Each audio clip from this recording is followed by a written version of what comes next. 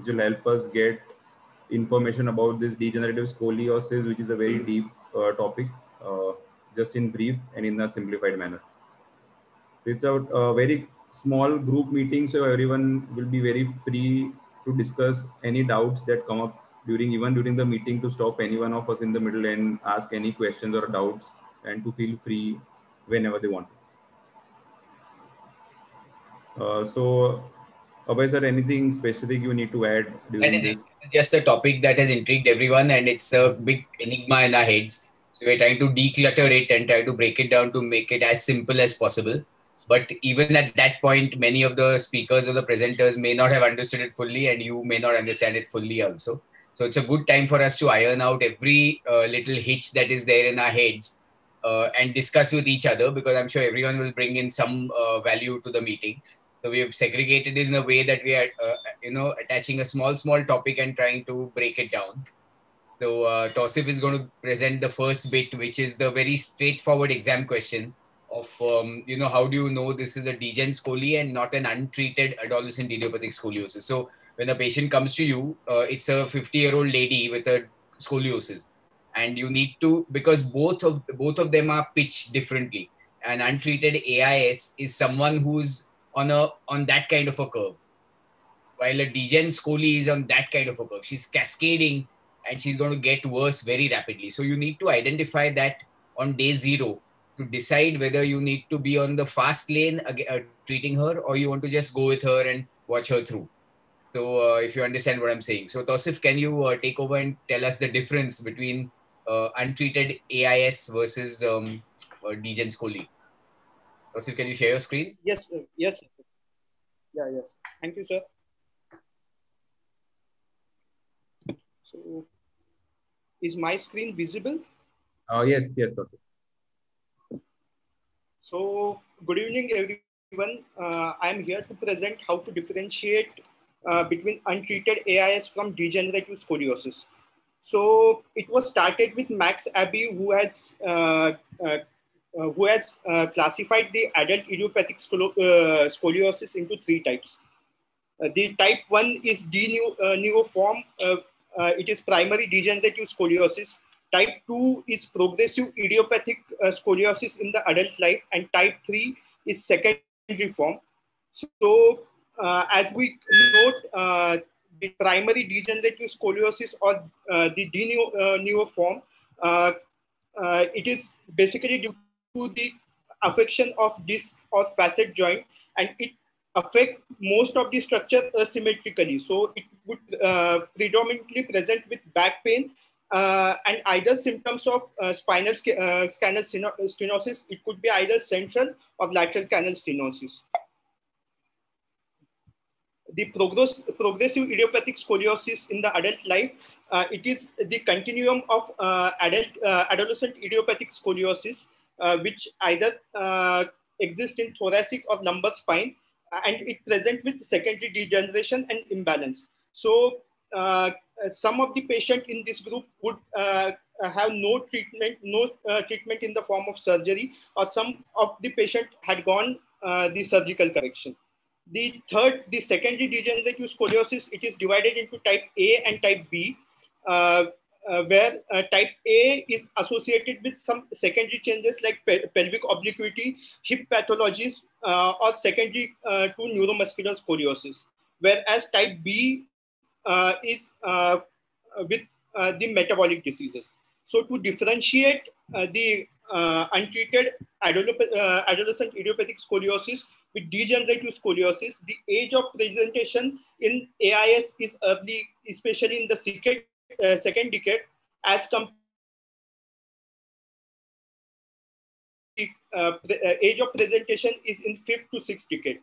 The females are more uh, affected in uh, adolescent idiopathic scoliosis, uh, and the curve is especially right-sided curve, whereas in degenerative scoliosis, the males and female affection is equal. The curve in AIS could be either uh, thoracic, thoracolumbar, or lumbar type with apex of curve is more in the thoracic region as compared to degenerative scoliosis where the curve is mostly lumbar and apex uh, of the uh, deformity is either at the L3, L4 or L2, L3 level. Uh, the etiology of AIS uh, is uh, the uh, idiopathic scoliosis, which is present progressed with mechanical, bony, and degenerative changes. Whereas in degenerative scoliosis, there is asymmetric disc degeneration and facet degeneration the degenerative scoliosis is present with more symptoms like back pain, uh, the uh, symptoms of lumbar canal stenosis and uh, foraminal stenosis uh, as compared to the uh, adolescent idiopathic scoliosis. Again, so, can you just go back one slide? Because in yes, this sir? first slide that you've shown that this is really the crux of your talk where there's a differentiation. So when a 50 year old lady with a curve comes to you, uh, you got to see if she's very symptomatic or not so symptomatic. Like let the X-ray not freak you out. Her symptoms. So uh, remember, Degen Scoli is essentially an LCS. It's a typical lumbar canal stenosis that had come to you with all the lumbar canal stenosis symptoms. And there's of course a deformity on the X-ray and clinically. So her presentation is not deformity. Her presentation is degenerated uh, LCS, degenerative LCS. So of course she's much more symptomatic.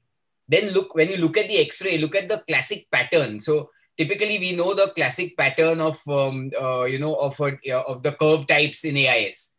So in Degen Scoli, that it doesn't fit in those classic patterns. You have the right, you know, left convex thoracic, like Lenke, Lenke types, King's types, like that.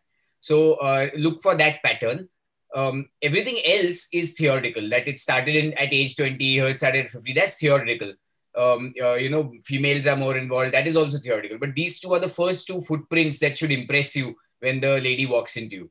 Go ahead, uh, uh, Tausif.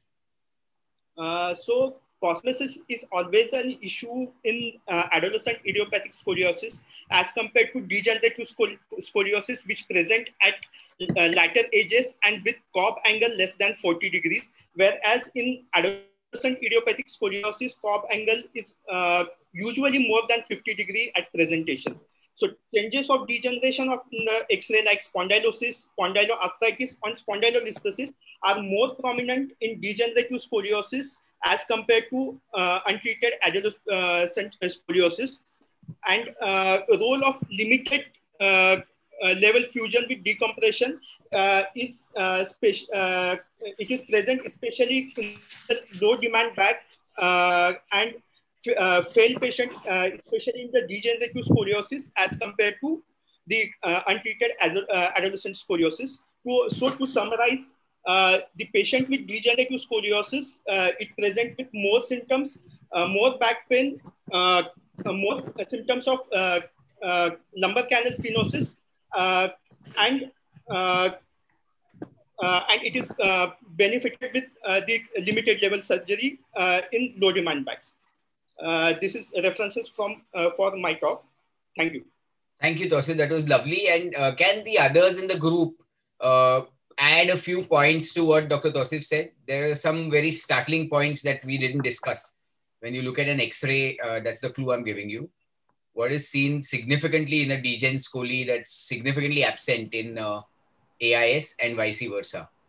Sir, uh, the AI is a significant uh, rotational component and uh, which is not there generally in a degenerative scoliosis. That's there very important point. You will find significant rotations in AIS curves because that's how it started. Remember, AIS is a rotatory deformity, while uh, degenerative scoliosis is a degenerative deformity. So because of degeneration and asymmetric disc collapse and facet arthropathy, you get degen scoli, while uh, AIS is, starts with a rotation at the apex. Anything else? That's a good point, Hriday. And so the other thing which you just said that the asymmetrical disc collapse. So that is one of the thing that is the genesis of uh, degenerative scoliosis as against to uh, AIS where generally the disc this is very significant with a lot of degenerative osteophytic changes, etc. Significant lateral listhesis will be present in uh, degen scoli. Absolutely. Lateral listhesis, lateral subluxation is the hallmark of degen scoli, which is not commonly seen in an AIS that's been neglected. And loss of sagittal balance, uh, especially loss of sagittal balance is a very important point that again is seen in uh, Degen Scoli, not seen in AIS. I hope all of you are making a note of, of this because uh, these are the standard questions that are going to be asked, and it should come with your eyes closed, duk, duk, duk, duk, and you should never be should never miss it. Anything else? There's one more point I'm looking for on the X-ray. So apical, mostly Degen scolis have an apical curve. It's not a nicely rounded curve. It's a curve like a collapsed, you know, it's a collapse that's gone off. So it's a pretty sharp curve compared to an adolescent idiopathic, which is a nicely rounded, a typical curve of AIS. So you'll have the apex where the bone has slipped out, lateral listhesis with a significant collapse, significant osteophytic changes, auto-stabilizing osteophytes on the concave side, etc., which you'll not never see in uh, AIS, which are uh, so that that's the game on this. Any questions on um, you know on the uh, on the discussion so far, or any comments? If not, then we'll quickly move to the next part of uh, of the talk. So I'm going to talk to you about why we should at all worry about uh, pelvic parameters, right? So um, the whole deal here is that pelvic parameters is a very new introduction to our, like when I was an MS student, we never talked about this. In fact, halfway into my practice, we didn't talk about it. It's the last 10 years that the whole world is suddenly talking about pelvic parameters. So the uh, big question is that are we overdoing it and is it an overkill and does it really exist? And many of us old timers like to believe that this is just uh, in someone's imagination and it's not really an existing problem. And uh, hence uh, we look back at our cases. So this is a surgery done uh, for me- medium grade listhesis done 10 years ago. And we have a 10 and 15 year follow up with no sagittal imbalance post op no asd post op so there was really something and we never paid attention. At that time there was nothing like uh, uh, sagittal parameters. So we just went and did a TLIF and she's done well uh, forget this. There's a uh, here's the next case, which is actually a uh, coli. You know, an elderly lady with Degen scoli. Once again, we have a long follow up. Again, we've operated her without applying any of the modern principles of sagittal balance, and yet she's done well. She's not had any problem. So a cynical old man is going to say that look, all this is you all are just invest in inventing solutions when there's no problem to begin with. So why are you, uh, you know, uh, like splitting hair? But uh, then let me so which is why i want to try and address this um, you know whole issue about what is the brouhaha about uh, pelvic parameters. So here's uh, probably one of the more interesting cases in my careers. And this lady had had a simple lumbar fusion for a degen listhesis a very benign surgery for a benign problem in 2002 and uh, see what happens there forwards. Uh, by 2005 she had radiological asd with uh, you know no symptoms but um, by 2007, so keep looking at the right of your screen because the, the story adds on on the right. By 2007, she had developed a claudication. So now she was symptomatic. Mm. So by in 2007, she needed an extension of the fusion. So that's five years post the index surgery. She needed a reoperation, and uh, that didn't. The story didn't end there. We have 2011 where things were reasonably okay, which is uh, four years after the second surgery. But at five, six years after the second surgery, you see a significant stenosis in the adjacent level. And uh, by this time, it was 2013. So we were uh, pretty much brainwashed by Roussouly and his gang. And we said that, look, this is going on. The second ASD in her short career, that there must be something going on in the sagittal uh, parameters. And sure enough, when we got a standing X ray that you see over here in this picture, you see all the parameters are off balance. Most typically, when you draw the C7 plumb line, it's significantly off from the uh, you know the from from where it should have been. This line, the sagittal vertical axis, should have cut somewhere here in a balanced spine, and there it's gone off. And when we tried to match her lumbar lordosis and the pelvic incidence angle, which was incidentally 57, uh, you know, you'll find that um, uh, the lumbar lordosis at uh, sitting at 20 degrees is way off from the PI and uh, we said that we must do something good. So we decided to do this operation and we took a wedge off from here and tried to give her a good lordosis.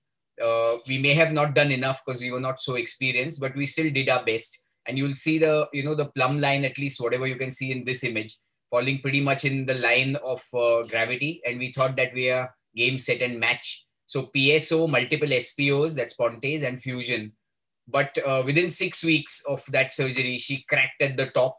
And this crack at the top is, of course, not coincidental. It's because there's a bad biomechanical axis acting here, which is pulling her down. And that's why the screws, which were snobbishly holding her back, held back and the bone gave way. So this is uh, a very much a part of PJK or ASD.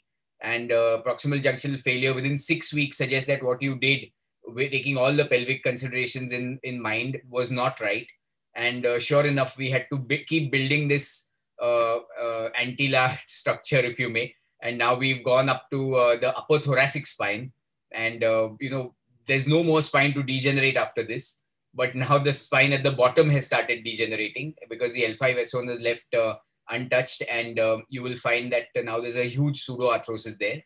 At this point, I want to quickly bring in some uh, discussions because, uh, um, uh, you know, this whole thing, if you see here in this image, we have, uh, you know, from the beginning, we've kept her L5S1 untouched.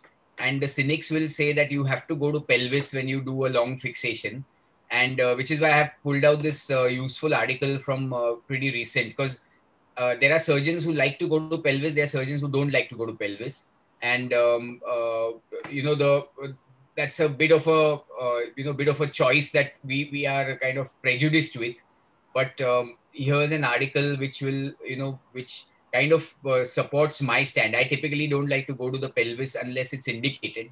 And I understand that degeneration is going to happen below, but if it happens, we deal with it. Don't preempt it because the stakes are very high when you go to S1. And I like Dr. Samir Dalvi's comments on this or anyone else in the audience who uh, wants to think about it. But this is a very uh, powerful group of doctors, including Schwab and Munish Gupta and uh, Chris Shaffrey, who have actually studied, um, you know, uh, patients who've uh, where you've gone to S1 and patient or, or ilium and patients who you've gone to L5 in degen scolies. And if you see these groups are pretty well matched and they have a six week follow up and then they have a two year follow up. And they conclude that uh, fusion, and there's a good number of patients. I, I miss putting the number of patients here, but it's a good study. Fusion to uh, S1 uh, involved longer operating times, of course, uh, higher PJK rates, greater PJK angles compared to the fusion that stopped to L5S1 or L4 L5. Uh, there were no significant differences in complication and revision rates in the two groups, and they both showed significant improvements in uh, you know health-related quality of life. So there is some evidence to suggest what we are doing is right, and uh, if Samir is still available or anyone else, Rishikesh, uh, anyone else in the group, uh, Priyank, any thoughts on um, you know so on I, this? I'm there. Uh, the thing is, you can't argue with uh, literature, as you rightly pointed out. You can't argue with literature, especially at that level. But um, if you ask me what is my thing, I have seen far too many L5S1s going bust for me to uh, not do it at that level. Um, uh, the other, uh, one of the arguments which Indian surgeons always have is that our patients don't like revisions. American patients don't mind extending levels and uh, going ahead, whereas uh, sort of our patients don't like it. So for me, uh, L3, L4, L5, if I'm fusing, then I'm okay. But the minute I go beyond that, so if I'm going to L1 or anything higher than that, so other than L3, 4, 5, which is two discs or you know two levels, uh, if there's anything more than that, then I go, then I cross the uh, L5S1, and of course, if I cross it today, I would also go to pelvis Got it. because uh, going to only S1 also is a bit hazardous. Yeah, and then you would do a interbody also. So that is my uh, non. Uh, that yes, yes, you would try to put a cage. So that is my non. Uh, what do you call it as? Uh, it is. Uh, non you can call it eminence based medicine. Maybe Yeah. not evidence based. Yeah. Experience based medicine. Sir, I have got a comment. Yeah, Priyank. Uh, sir, uh, by restoring the lumbar lordosis, you are essentially trying to get your sagittal parameters in order. But uh, by leaving the L5 S1 disc intact, you are still keeping a scope of kyphosis. We actually haven't really seen uh, after uh, our surgery of uh, restoring the lumbar lordosis, leaving the L5 S1 intact, eventually how the global spinal balance was after we got the patient standing we it could very well have been that in spite of uh, you know taking care of the lumbar lordosis at the L5S1 junction the patient is getting crouched and that is probably causing more and more PJK. Yeah, absolutely agreed. I mean, the whole debate is on that, that if you leave the L5S1 disc unfused, uh, it will work against you because it will degenerate and collapse. My thought process is slightly different that if the disc is uh, good to begin with, I feel it's a corrective opportunity for the body afterwards. It gives the body a leeway to readjust the, uh, the toppling over. It gives some mechanical leeway to the body like a hinge if the disc is good. So if the disc is already busted or kaput, I would fuse it. But uh, I'm one of those who uh, at least in my hands, I've, though I've not had great results with adult deformity surgery, uh, by leaving out S1, there have been less occasions, like even this lady. You know? So here there's a quick article before I, we move on. about which I read again a very new literature where they try to put BMP because the rate of pseudoarthrosis is very very high in uh, in these uh, adult scolies when you cross L5S1 and you have to do an interbody and ideally put a small dose of BMP which will uh, enhance the fusion and make sure that uh, you know you get a fusion across. So just to go come back to this lady, if you see, you know, it's been five years after which her L5S1 has started gotten symptomatic. So uh, we still could get five years on her, but uh, I understand totally that one any disc that has been left unfused is going to degenerate. I mean, there's no discussion about that. So the question is that are you doing good by leaving that disc and uh, you know uh, absorbing that degeneration, or is the degeneration going to get big on you for you need to uh, you know revise? In this particular case, it's gone really big on us. Even we don't know how to revise it. If you see the pseudo, but this lady is slightly special. She's got a bit of a uh, uh, you know those uh, Charcot kind of a disposition in the entire body, and this is almost like a Charcot joint here, which you will rarely see, and you will have seen a few cases in our coming for follow up where we've dropped the L5S1, not fused it, and they're still hanging in well as as she was for so many years. If you see her, L5S1 is unfused since 13 and it's only 19 that it's uh, you know it's really uh, playing a part. But this all brings us to the thing that Dubar Ahmad Puchna why to consider L5 why these parameters are important. These parameters are clearly important, and if you don't get them right, you're going to have a cascade of events. And I'm going to try and declutter it in your head as to I, as I did in my own head. So see, the spine is not a one single bone; it's a multiple blocks of bones which are stacked one on top of the other, and hence it has to balance itself well.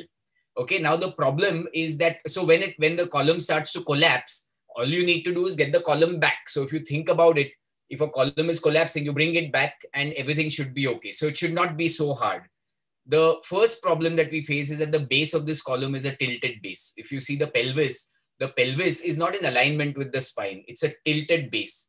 So now you start thinking about a column with a base that is tilted and now the column is collapsing and you want to bring it back. You really need to match it with that tilted base. It doesn't then remain as intuitively easy as uh, uh, as this picture, you know, where the base is a part of the blocks and you just get the block back on this. So uh, getting it back in line, whether from the back or from the front, uh, becomes a challenge. Now here's adding to the you know to the uh, confusion that the base is actually tilted and it's not even a block; it's actually a ball or it's a circle. So again, if you think about it, the pelvis, which is supposed to be the lowest uh, vertebral body, is actually uh, you know moves like a, or it plays the part of a ball just like this uh, image shows rather than a block that is safely holding up the vertebral body so now the uh, problem begins to get more difficult because uh, when this block is rotated because we already said that this block is tilted. It's not a block it's a globe or a circle which is tilted. Uh, we don't know which way it is tilted because it's a ball. So if it was a square or a block you know that it's tilted this way or that way. But uh, the pelvis being a circle, you don't know which way the tilt is, and it doesn't uh, tell you, you know, so easily looking at it whether the pelvis is rotated that way or this way to, to decide how you want to realign the column on top. So if we could have some kind of a dial which could tell us which way the pelvis is actually rotated, that would make things easy, right? So if the pelvis had some kind of a marker to tell us that the pelvis has gone backward or the pelvis has gone forward, life would have been much easier. Now, that dial actually comes from uh, the first set of uh, pelvic parameters that have been described, and that is the sacral slope and the pelvic tilt. These are the two first parameters, and the whole idea of knowing these parameters is to know which way the pelvis is moving. They're the dials. Like when a clock is moved this way and the nine o'clock goes to the six o'clock, you know that the clock is moved in this direction if the nine o'clock has gone to gone to the 12 o'clock, you know the clock has moved in the other direction.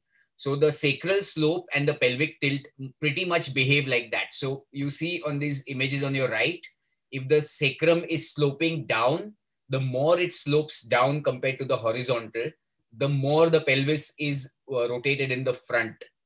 The more the sacrum goes towards a standing sacrum, which is a retroverted pelvis or a pelvis that's rotated in the front, you know that the whole pelvis is moved that way. So the primary um, aim of knowing what is the sacral slope is to know which way the pelvis is aligned and ditto the pelvic tilt because uh, the pelvic tilt is really the shape of the pelvis. And uh, I did mention that the pelvis is like a ball, but in reality is not a ball.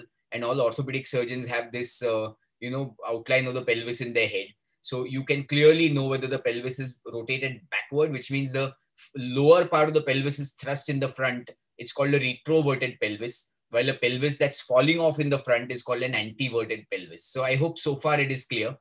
So uh, the pelvic parameters give us a dial to decide which way the pelvis is. Now, uh, as a at this point, all of you must remember that um, a retroverted pelvis is bad news. So people in whom the pelvis has gone off in the front, which means their butts have flattened off. Their entire, you know, the lower part is facing up in the front. That is bad news. While an anteverted pelvis where the butt is sticking out is good news. So the funda being that in a retroverted pelvis, the base available. So if you talk of a footprint available for of the base, so the area between this uh, reduces because there's an overlap that happens uh, between the upper part and the lower part of the pelvis. So in short, your base is small and hence the en energy consumption is much more to uh, you know uh, for locomotion. While in an anteverted pelvis, the base is widened and uh, hence the area available for uh, it's like an Eiffel Tower. When the pelvis is anteverted, the Eiffel Tower has such a wide base that the top is going to be very very secure and balanced while if the base was very narrow, the top would be unbalanced and the body would use too many muscles to try and keep it upright. So I hope that funda is also clear that when the sacrum is, uh, it also then matches with the sacrum that the, the more sloped the sacrum, the more anteverted the pelvis, the more anteverted the pelvis, the better it is for the patient. The more vertical the sacrum or the more retroverted the pelvis, the more energy consumption to balance the entire spine. Any questions at this point? Right? So going ahead, after we know this, the plot further thickens because now we've sorted the pelvis. We know which way the pelvis is uh, bent. And so now we know, okay, pelvis is like this. I'll need to put my column up like this. So your base at least is sorted because it has a dial. The problem is that the column that we're trying to resurrect in, in our surgery is not, not really a column, it's a curve. And this curve is of variable magnitude. So it's not a fix. So it would have been much easier if there was just a line of bones but because there's a curve that has to be brought back, and this curve doesn't have a definition, someone's curve could be 10 degrees, someone could be 20 degrees, some could be 30 degrees. Suddenly, we are now facing a situation where uh, everything is variable. The pelvis is variable, the curve is variable. So there's it's like a blind leading a blind. You really don't know which direction to go. There's no constant here.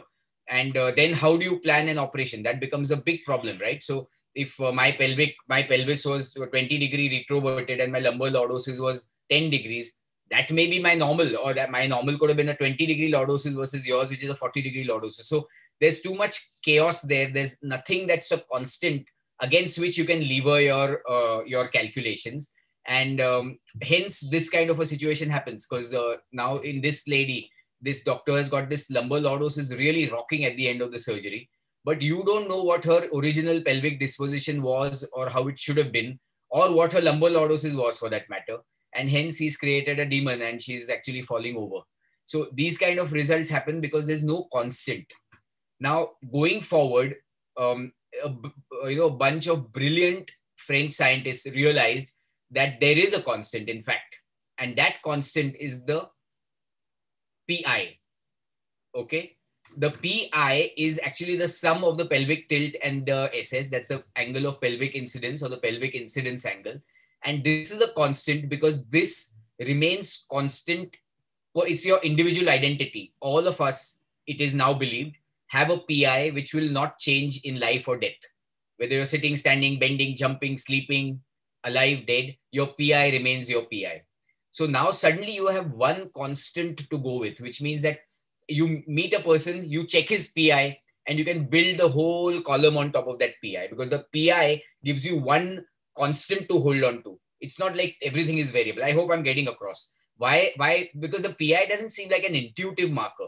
When you think about it, अरे ये कहाँ से line draw करने का and it's it looks quite a clumsy marker. You see the thing in the bracket in the red. See pelvic tilt and sacral slope is very intuitive. You know, you know, you look at it and you know what we're talking about. PI seems quite out of the hat, but uh, the pi is, is there because it's the first constant that was described and uh, you know this constant is in the general population at uh, 55 plus or minus 10. The sacral slope is variable at uh, 42 plus or minus 8 and um, uh, pelvic tilt is at 13 plus or minus 6. Those are the general normal values. I think this is what you need to remember. The general PI, the angle of pelvic incidence. Now, once you have this, you find, you also find that the relation of the PI with the spine is so close that the PI is within 10 degrees of your lumbar lordosis.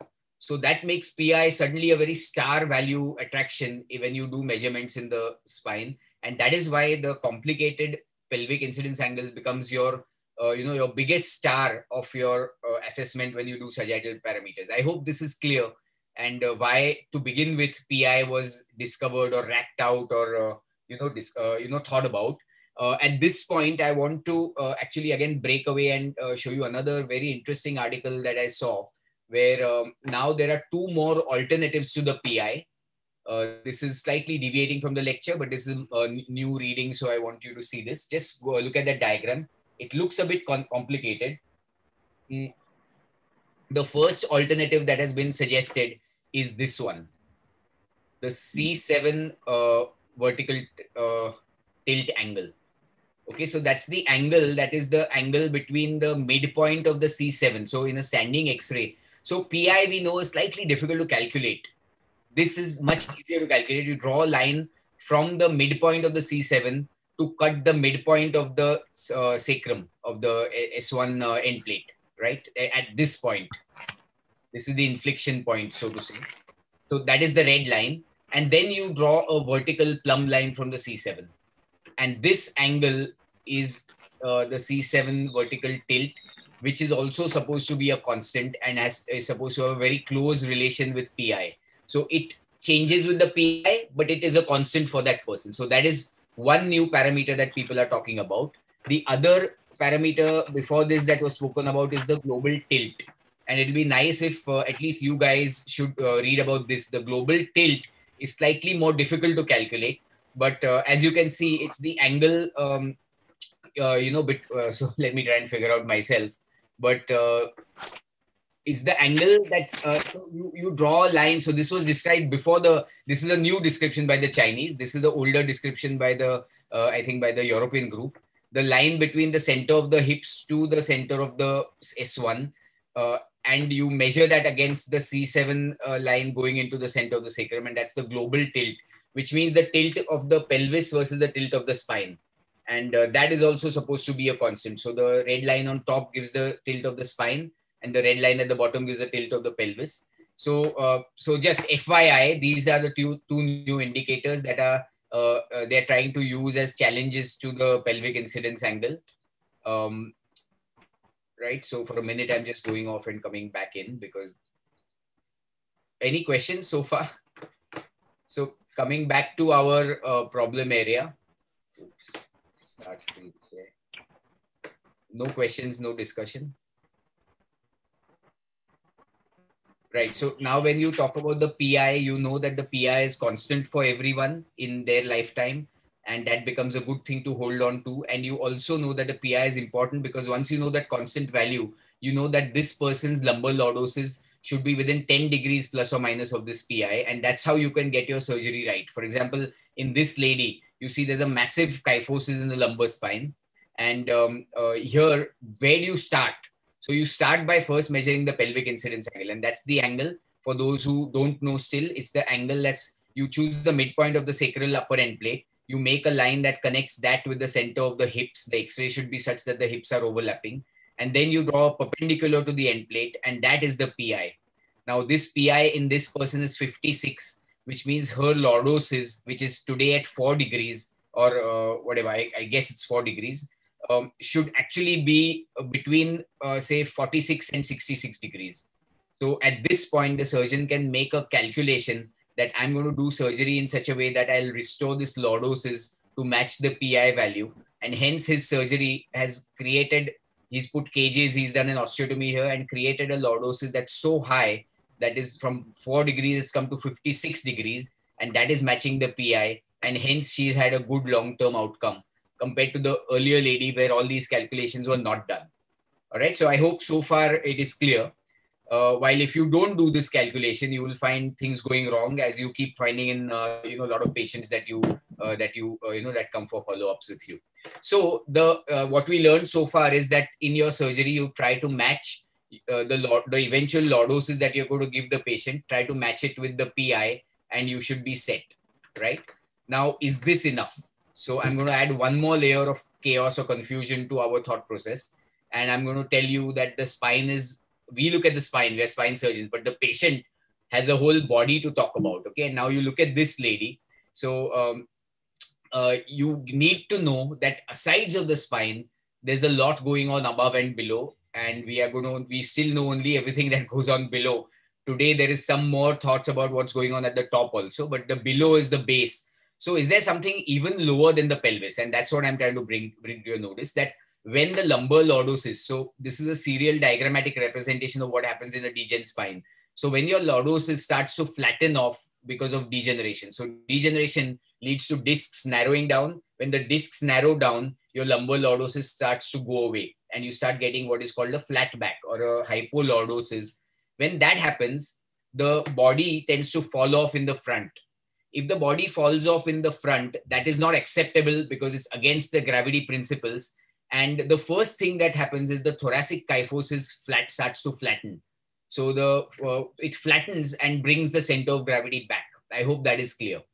Now, after that, the degenerative process continues in these uh, unfortunate patients. And the thoracic kyphosis flattening is still not enough because the lumbar lordosis further flattens and the body again falls off in the front. So the next thing that happens is the pelvis starts to retrovert. And by retroverting, it again pulls the center of gravity back. Is that clear? So the first compensation happens above the lumbar lordosis, flattening of the thoracic kyphosis. The next is retroversion of the pelvis. Think about it, it to pull the body back. And um, if after that, if the lumbar lordosis is still, uh, you know, overwhelming and still the center of gravity is falling off, the hips start to flex. And uh, so pelvic retroversion goes hand in hand with the hip flexion.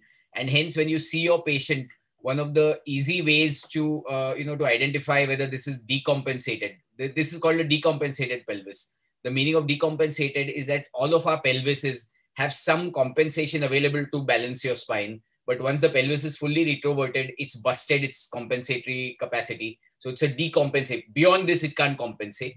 And uh, the way to identify it is looking at the patient is, of course, aside of flat butts. They have a very flat butt. You try to ask them to extend their thighs. You, you know, ask them to push their thigh back actively. They can't because this is their normal. At the most, like when you want to push your thigh back, you can get it there. But this person will be able to get it back to here at best because her this is her arc, right? Her arc of movement has the entire dial has changed. So basically, uh, there's a limitation in the extension of the hip, which tells you that the hip is. That's a very easy clinical test to know whether the hip is retroverted or antiverted. Uh, this brings the you know they brings the center of gravity back. Despite this, if the lumbar lordosis is failing, which means the lumbar lordosis keeps keeps uh, reducing with degeneration, the next thing that the patient does is flexes the knee to pull back. So all of you, if you flex, stand and flex your knees, your center of gravity tends to go back. So this is the last compensatory mechanism. So I've spoken about uh, something that happens on top, which will have a bearing, uh, something that happens at the bottom, which is at the pelvis, which will have a bearing to your surgery, and then something that happens infrapelvic, which will also have a bearing with your surgery. So here's a, you know, here's the, uh, uh it's a lovely photo. It's from the book, uh, you know, which will show you the decompensatory mechanisms that have gone on in a given person uh, to try and keep the head up because uh, your your body has a writing reflex which tries to hold you up in the vertical line and this is how it tries to do okay? Now how, what is the relevance of this to the surgeon right? So here's a person who has a pelvic uh, you know pelvic incidence of xyz and the surgeon says i want to match the pelvic incidence. Uh, and I, I, create a surgery where I've given a lordosis that makes the pelvic incidence equal to the lumbar lordosis, as you see in this image, right? This surgeon has missed out all the compensatory mechanisms, especially the ones in the pelvis and below the pelvis. So after he restores the lumbar lordosis, on day one, the patient stands up. The pelvis tries to go back to its natural position because the natural position of pelvis is not retroverted. It's extremely energy, energy consuming. So as soon as the pelvis starts to go back to its original position, the spine starts to drop off.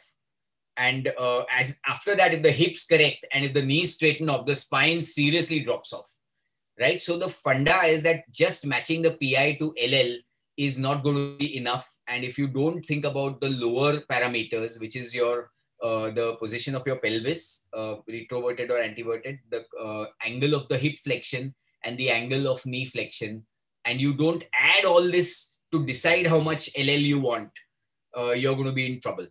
I hope that is clear. Any questions or any thoughts? It's not very difficult to understand, but this is trying to de- demystify it for you. So you, uh, the concept of balanced spine is a spine, as I said before, uh, where the C7 plumb line lies within a couple of centimeters from the posterior tip of the sacrum or the uh, uh the end plate of the sacrum, and you could be minus or plus, but within 2.5 centimeters is considered balanced. Uh, when you go more to on the uh, more in the front, it's called a plus or a you know it's a plus sign, and when you go back, it's a minus sign uh, there's a balanced versus unbalanced pelvis, which is a funda you should know. So when the sacral slope is high, which means the sacrum is more and more flat, like horizontal, the uh, pelvic tilt is low, which means the pelvis is more anteverted. And of course, there's no lumbosacral kyphosis. These are the characteristics of a balanced pelvis. While if the sacral slope is, uh, is low, which means the sacrum is more vertical or standing up, the pelvic tilt is uh, high, which means the pelvis is retroverted and of course, there is lumbosacral kyphosis, which means the angle between the S1 and L5 has become kyphotic. These are all characteristics of unbalanced pelvises. Uh, when there is an unbalanced pelvis but a balanced spine, which means that all this is unfavorable, but in the end the spine is balanced. In this situation, it is still a surgeon-friendly spine. So I'm coming back to my first slide where I said that we got away for so many occasions without looking at the pelvic parameters because most patients that come to us who uh, you know fall into this category, especially the listhesis and the degen uh, uh, scolies, they fall into this category where their pelvic parameters may be unbalanced, but their spine is balanced, which is a very forgiving situation where even if you don't respect all the parameters, you can still typically get away. And it's only when the pelvis is unbalanced and the spine is unbalanced is where you will have a problem, right? So when you think of surgery, you think of the balance of the spine first, think of the PI, means the pelvic uh, balance also, and look at the compensatory mechanisms by clinically examining the patient. And your realignment objectives are, uh, you know, getting all the three in, in line. And unless you get all the three in line, you can be in trouble. And here's one of our patients where, uh, uh, again, this was done before the time of, um, you know, uh, pelvic parameters, but retrospectively I've calculated and clearly I've not, despite doing a TLIF, which was a big deal at that time, uh, the lumbar lordosis is nowhere close to what it should have been. It's a clear cut mismatch. And sure enough, you see what happens uh, to this person. Though, uh, you know, the, the debate is still out whether, because this guy, after this x ray, has gone trekking to uh, Gangotri and all that. So, whether this is, uh, sim- you know, symptomatic or not is, uh, again, the jury is out. You can also see some pseudo happening here, implant loosening. So, despite a bad surgery and a bad x ray, he is asymptomatic but uh, really PJK and ASDs, uh, the seeds of this get sowed when you don't look at these uh, balances. So uh, in the end, when you're thinking of re- resurrecting your spine, think of all the spinal level, the pelvic level, and the uh, subpelvic level um, indices. I hope uh, that was clear and enlightening. And if there are any questions, please ask. sir, how significant do you think is rod contouring in this surgery? Like, if to make so, you know, when, when we talk of restoring lumbar lordosis, so supposing at the end of my entire calculation, I've realized that I need to get a lumbar lordosis of 56 degrees. Okay. How do I know what is 56 degrees in surgery? Comparatively, how can we? And uh, that's anyone has any thoughts on how to actually measure that? So the only real way to measure it is to get a cobalt chrome rod, which is inflexible, and uh, you know curve it to 56 degrees. So the meaning of that is that the rod, so if the rod was a part of a circle, you know, if you take that part of the circle, it's, it'll show 56 degrees. So there are ways to measure it also actually. And uh, today, if you really want to get it accurate, you can get a pre-contoured rod of 56 degrees. Once you know, because your calculations are done, in the big centers, they actually pre-contour their rod. So now if this rod is applied, it means that the uh, lumbar uh, curve has become 50. So I think personally, rod is very very important and the angle of the rod is very very important and using a inflexible rod becomes important if you really want to uh, push your correction to uh, accuracy and so intraoperative measurement of the angles Uh, one point is that uh, at the time of at the level of PSO, the local fluoro can help us. Uh, and second, I've read uh, in the literature that a lot of guys do after complete correction, they do a, a long film X-ray there itself, and uh, before the closure they uh, begin. And second, regarding rod contouring, Just on Uh, that point, uh, Harshal, the point that you made, uh, like uh, intraoperative X-rays, I am not at all a fan of because it totally eliminates gravity. And when you actually stand up, the entire decompensatory mechanisms can come into play. So you can have a rough judgment of where you are, but it can't be. And ditto for scoliosis surgery. In scoliosis surgery, also intraoperative X-rays may look fabulous, but the minute the patient stands up, she may fall off because gravity is getting eliminated. So there is value in intraoperative judgment, especially when you want to calculate your lumbar lordosis. Uh, as far as and I want to just take a minute more. I just recently reviewed a very interesting article uh, on uh, someone who was trying to correct um, uh, fixed ankylosing spondylitis. Okay, and this person calculated, made all the calculations based on the standing X-ray pre-op, and uh, they calculated that he did a 35 degree wedge correction to get the ankylosing spondylitis curve back. The minute they put the patient under an- anesthesia and prone the patient, there was an Anderson lesion up here, and that opened up and became a you know wide wide alligator mouth, and that suddenly straightened the spine, which meant that now your entire calculation went off because now your uh, you needed a very different calculation. So in this situation, they redid the calculations in the prone position and uh, got their angles right, and they could get away by just doing a you know cage in the Anderson lesion, and it kind of auto corrected. And now we know this that any Ank spons who comes with a pseudo is actually a good situation because you use the pseudo to correct the Ank spons. We've done it in the cervical spine also. Yes. So uh, that's where again an intraop X-ray comes in handy. What else were you saying, Harshal? Uh, regarding the rod contouring, sir, the rod contouring uh, typically at the proximal level, uh, over contoured rod are uh, known to reduce the chance of PJK as per the literature, but that we'll discuss anyways in uh, coming slides. Right. So making a bigger kyphosis at the top. So what is the dynamic structure also at the top? Like recently, uh, I just read that uh, just having like Dynesys kind of fixation at the top will decrease the It load does on at the top. Uh, maybe. So uh, it's called a soft landing. So the one of the reasons for having a PJK is that the modulus of elasticity is so, so differential. You've had a strong cobalt chrome rod and a massively constructed spine at the bottom, and the top is still an old loose spine of an old lady. So uh, to try and match this, an intermediate softer fixation in the form of either cables or a topping off device like a interspinous spacer or in our time we used to do uh, sub uh, like a interspinous wire using an inter- interspinous wire stainless steel to use it as a topping off device which means that between the hard spine and the soft spine there's an intermediate part which is trying to match the modulus of elasticity. But this is a big fail so it's well proven that these topping off devices and a very recent case harshal you can uh, pull out the x-ray and show to prevent there was a young guy with a multi-level ddd and we've done a topping off device to begin with. And his third month post-op X-ray shows that puchuk, the disc on top is kyphosing. So it's a fail because uh, in the end, at now this we used to do, no, this wiring we used to do when we did not know about these pelvic parameters. Now we know that ultimately it is a geometry and the biomechanics and the gravity that's going to decide PJK or not, no matter what you do. And I think we may hear about it from uh, uh, Subhanshu. Any other questions or any other thoughts? Priyank, Samir, Munjal?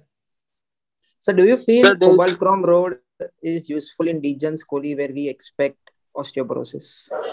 So that's again a very good question. That cobalt chrome rod uh, has a, a good advantage that it doesn't flatten when you start putting the rod in. So you, in the end, get the lordosis of the rod that you wanted to start off with. If you are to use a titanium rod, it tends to flatten. And in uh, Manabu Ito has shown that there's almost a 30 uh, 30% loss of the rod contour after you actually put the rod in place in uh, especially in AIS. But on the flip side, the uh, rod is so snobbish that uh, if the screw is not fitting into the rod, so the the whole thing is that the titanium rod being slightly flexible is a release mechanism or it's like a pressure release valve. So it'll uh, if the rod is if the screw is not sitting in, the rod will flatten and accept the screw. While in um, uh, so that's the X-ray of this uh, topping off device. If you see the last part, you see there's no rod there, and that is actually a cable. And uh, uh, this is called um, what's it called, Harshal? This system? Dynesys. Not Dynesys. Hybrid, Dynesys, uh, hybrid, hybrid fixation, sir.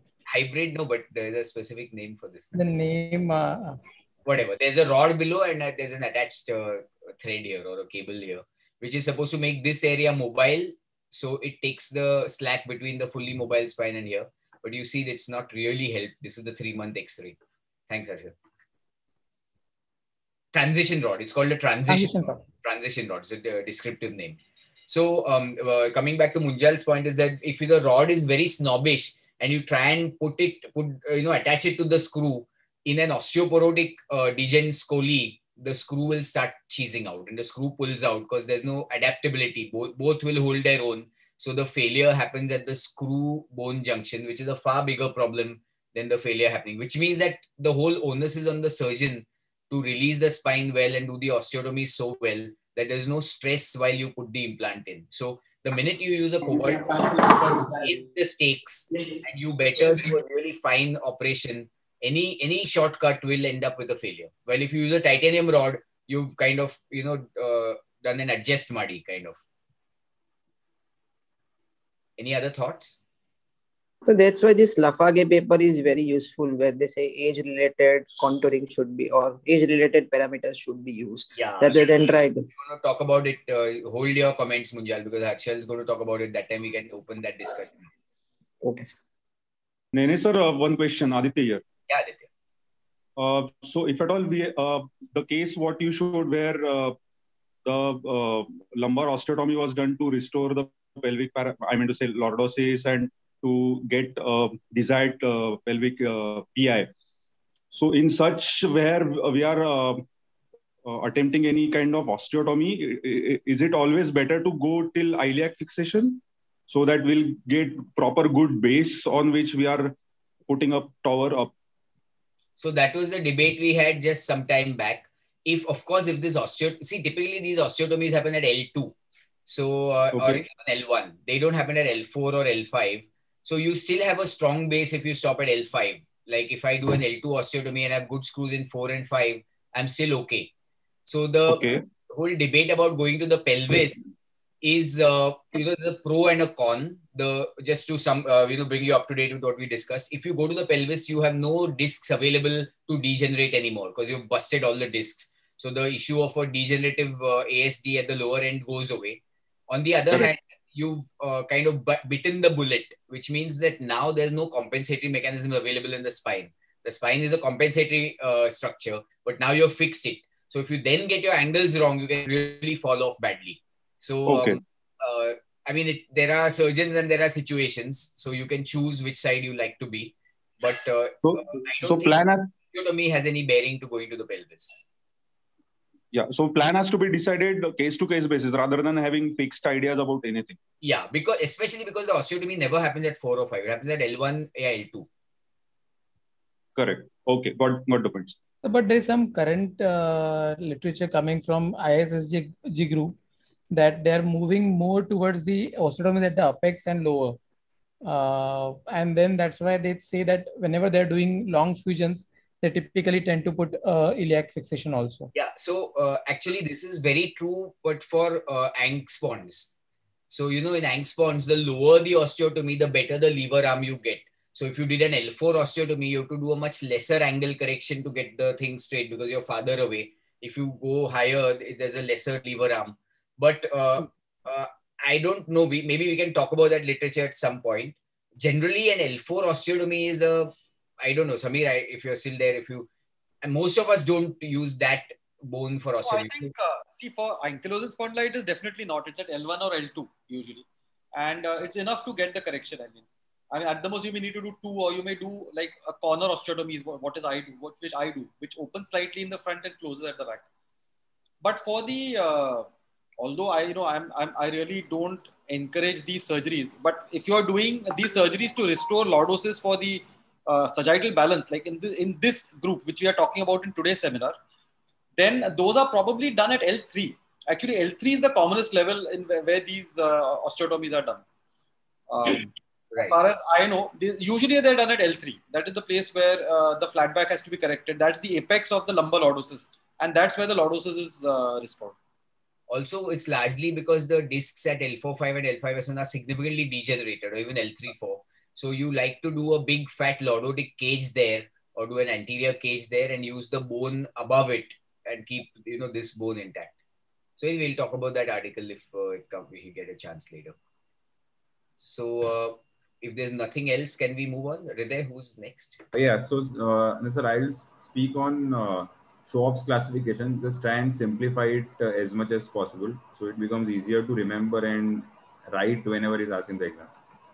Right. So Schwab's classification has come in very recently, and it is uh, alluding only to these um, uh, degenerative scoliosis, and it's uh, because it's coming late in the day, many of us are not so much aware of it and we don't use it in our daily practice. But I think all of you guys in this generation will be, you know, when you see an uh, Degen Scoli, this is right now the Lenke of Degen Scoli, Lenke class of Degen. So that's why I think it is included.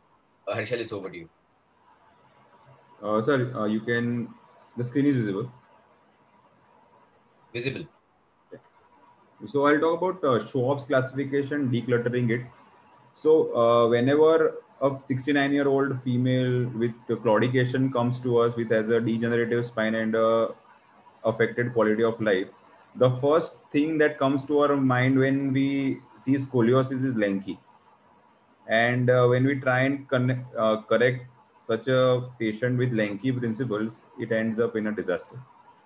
So it's like uh, thinking that uh, these are uh, Karelas, we try to eat them as cucumbers and then complain that they are bitter because they are not cucumbers. And here the main difference is that there is a coronal deformity and a sagittal deformity, which both of which needs to be uh, taken into consideration. So that is why Schwab's classification, Schwab's SRS classification came into consideration, which takes into account the coronal curve, the coronal uh, part of the curve and the sagittal part of the curve. So we'll try and just declutter it and uh, make it more simpler as much as possible. So whenever it is basically based on a 36 inch whole spine scanogram X-ray and the AP is what defines the coronal curve and the lateral X-ray is what defines the sagittal modifiers. So when we see the AP X-ray, they divide it into the T, which is at T9 and apex, which is at T9 or anything above it, and a L type where the apex is at T10 or anything below it. So this is a T type curve, that's an L type curve. Now when we have both the curves that are major curves, that means that uh, angle which is more than 30 degrees, it's a double major curve as it's called D type curve. And any curve 30 is a no curve technically and it's called an N curve. These are graded as T, L, D and N and these are a few X-rays for each kind of curve. Now, when we see the sagittal modifiers, uh, so when we see a lateral X-ray, this is what it comes to. The first thing that uh, hits our eye on a lateral spine X-ray scanogram is the lumbar lordosis. Then it comes to the pelvis, relation of the pelvis to the lumbar lordosis, as sir already talked about. And to end it up is the global relation to. Now, the lumbar lordosis is defined as PI plus or minus 10 the pelvic relation is generally defined by the pelvic tilt is whether it is retroverted or uh, introverted pelvis and the global balance is defined by SVA, the sagittal vertical axis. Now the spine and they uh, define sagittal modifier as 0 plus and plus plus. Just try and simplify it as much as possible. Now what happens, so throughout the life, the body tries to kyphos itself and all this try to make it as much straighter as possible. So there we'll say that all of them are compensators. So there's a lumbar compensator, then the pelvis tries to compensate by retroversion, and the global compensators are maintaining the global balance. So the lumbar compensator is technically the lumbar lordosis, which is defined as PI plus or minus 10. So we know that it is not an absolute value. So here, like image A, which shows that the lumbar lordosis is pretty less as compared to an image B, which shows that there is very high lumbar lordosis. Now, none of them is abnormal. Both of them are normal because it has a relationship with the pelvic incidence. So low pelvic incidence is a lower lumbar lordosis and a high pelvic incidence is a higher lumbar lordosis. So both of them are normal. Uh, and here they define sagittal modifier as pi minus ll is to 10, 10 to 20 and more than 20. So for example, the first is pi minus ll is 10. We know that uh, the normal lumbar lordosis falls between plus and minus 10. So it becomes a lordotic spine. Just for example, if pi minus ll is 8, then lumbar lordosis comes to pi plus 8, which is a lordotic spine. Next is between 10 to 20. So pi minus ll, for example, is 12. That means the lumbar lordosis goes further down, which means it becomes a flat back. So that's why they call it a plus, which is a worse situation as compared to a lordotic back.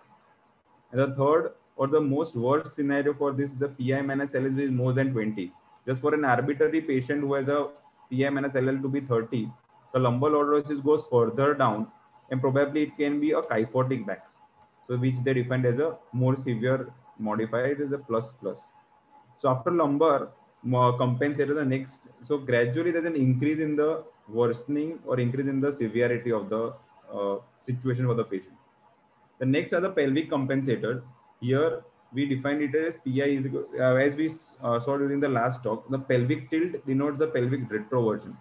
So more the pelvic tilt the more is the retroversion of the uh, pelvis so for example, this is a normal. So they define pelvic tilt less than 20 with the normal as we saw it was somewhere between 16 to 18. So any pelvic tilt less than 20 is normal.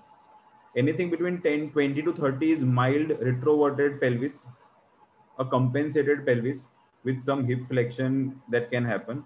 And anything that is more than 30 becomes a severe form, which is a severely retroverted pelvis, maybe an uncompensated spine, which can cause other issues like a hip flexion and a knee flexion. So after the lumbar lordosis and the pelvis, the next come is the global sagittal balance, which is defined by the SVA. So sagittal vertical axis, which should I, which is generally a line that falls from the C7 vertically down, and it should be touching the posterior superior corner of the sacrum. So anywhere between uh, till 2.5 anterior or posterior considered to be normal. So here they define less than 4 to be normal because it is a compensated spine. So it is ahead of, it is not at the place where it has to be. It is in front of it, but the spine overlock looks compensated. So they define it as 0. The SVA, which is 4 to 9.5 centimeter ahead of the posterior superior corner, is a partly compensated spine with a defined as plus and more than 9.5 centimeter is a decompensated spine. So they define it as a double plus. So to sum up, this is what happens. The first is the lump, uh, uh, spine gradually worsens from a lordotic to a flat back to a kyphotic spine. The pelvis gradually from a normal anti-verted pelvis becomes more and more retroverted to a vertical pelvis. And the global balance which looks as a balanced spine becomes partly uncompensated to like completely uncompensated spine. This is a falling forward spine. We see a kyphotic back and also notice the flexion of the hip and the spine. So this defines how they define the severity in the sagittal plane. So to sum up, uh, Schwab's classification includes the coronal curves as DNN, and the pelvic the sagittal modifier is defined as the lumbar curve. There is a lumbar lordosis by PM and SL. Going down the whole spine, sagittal balance by SVA and the pelvic tilt by PT. So to be uh, more clearer, we just take an example. Uh, anybody to volunteer for this? So we'll tell Shubhanshu or to volunteer. Uh, uh, for for the curve, it is uh, lumbar curve. So it's uh, lumbar curve. So yeah. on lateral X-ray, the first thing that we see will be is the SVA. Uh, we need to calculate the angle actually, but yes. the SVA is we can either calculate the angle on an X-ray or we yes. have uh, Surgimaps which can help us in calculating the angles so uh, here the lumbar lordosis to see is a minus 43.4 because it's a kyphotic spine. That is why it's a minus sign on a lumbar lordosis. So pi minus the so pi minus LL is coming to 23 is the pi and a minus 43 for a kyphotic spine. So it comes to 72. which is uh, a plus Plus two. That means the kyphotic spine. The PT is 29. That's a plus, which means it's a retroverted pelvis. And SVA is, seems to be falling somewhere around 4 to 9.5 centimeter, which means it's falling forward but looks overall compensated. Uh, so this means this shows that is a degenerative scoliosis with severely kyphotic spine, which is defined by a PI minus LL. However, overall compensated, and this shows that it has a worse quality of life for the patient, and we would need a surgery for this. However, the Schwab's classification does not prescribe a treatment as in what to do, when to do, how much to do. Uh, this has a very good clinical correlation with the patient, like a worse on a Schwab scale will be worse clinically. It helps us to plan surgery that should be go to us for a simple surgery like simple one or two level T-lifts to extensive like uh, vertebral column resections or uh, multiple PSOs or Pontes and also helps in predicting the outcome. So it's like both cucumbers and Karelas taste good if they are prepared properly. Thank you. Nice. So that kind of uh, uh, does it? Did everyone follow? Because it's a bit complicated, but you have to put all the thoughts that we built up so far from the first and second talk to try and uh, you know get your head onto this classification. Maybe uh, eventually you should share your talk with everyone. Uh, maybe you should share all the talks with everyone. If there are any specific questions that are you know that are not understood, uh, anyone in the group, don't consider yourself too junior, Mansi. You can you are also allowed to ask questions. Are there any comments about the validation of the classification? So uh, here the only problem of the classification is that there is a lot of description that uh, there, how the we cannot know the treatment protocol based on the classification. There is a lot. Uh, the intra-observer variation is pretty good. Like it is a, a classification that helps us to communicate between uh, different doctors. That's what said, rather than uh, planning the treatment. So it is actually validated by multiple studies and multiple centers across the world. So and uh, SRS has adopted it as a AO SRS classification.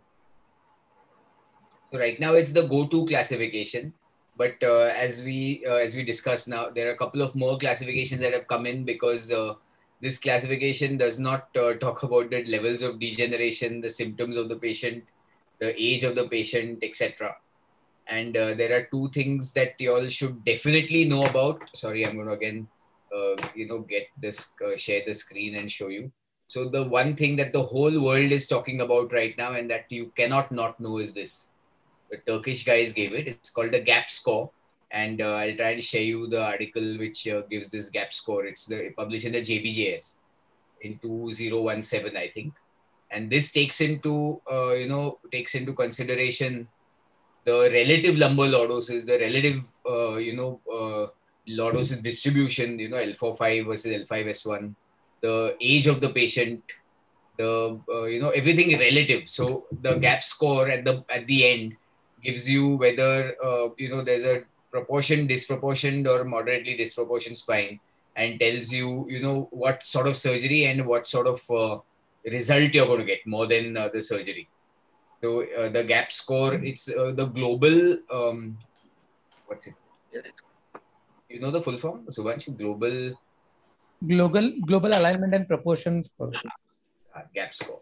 So that's one thing that you need to know. And the other is uh, you know this uh, other classification that uh, Lamartina has proposed which is again a very useful classification. You going to talk about it? Probably not No, sir. No, I have not. uh, I'll, I'll put it on the group it's a 2014 classification it's quite different from the um, uh, from the um, classification of Schwab and again it takes into, into consideration um, the amount of degeneration the symptomatic DDD and uh, of course the balance of the spine so it's worth worth at least knowing in the back of your head so you can you know work uh, work your thought processes around it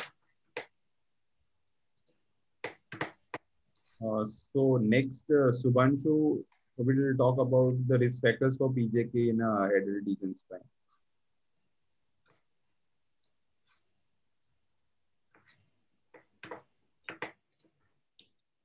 Uh, my screen is visible.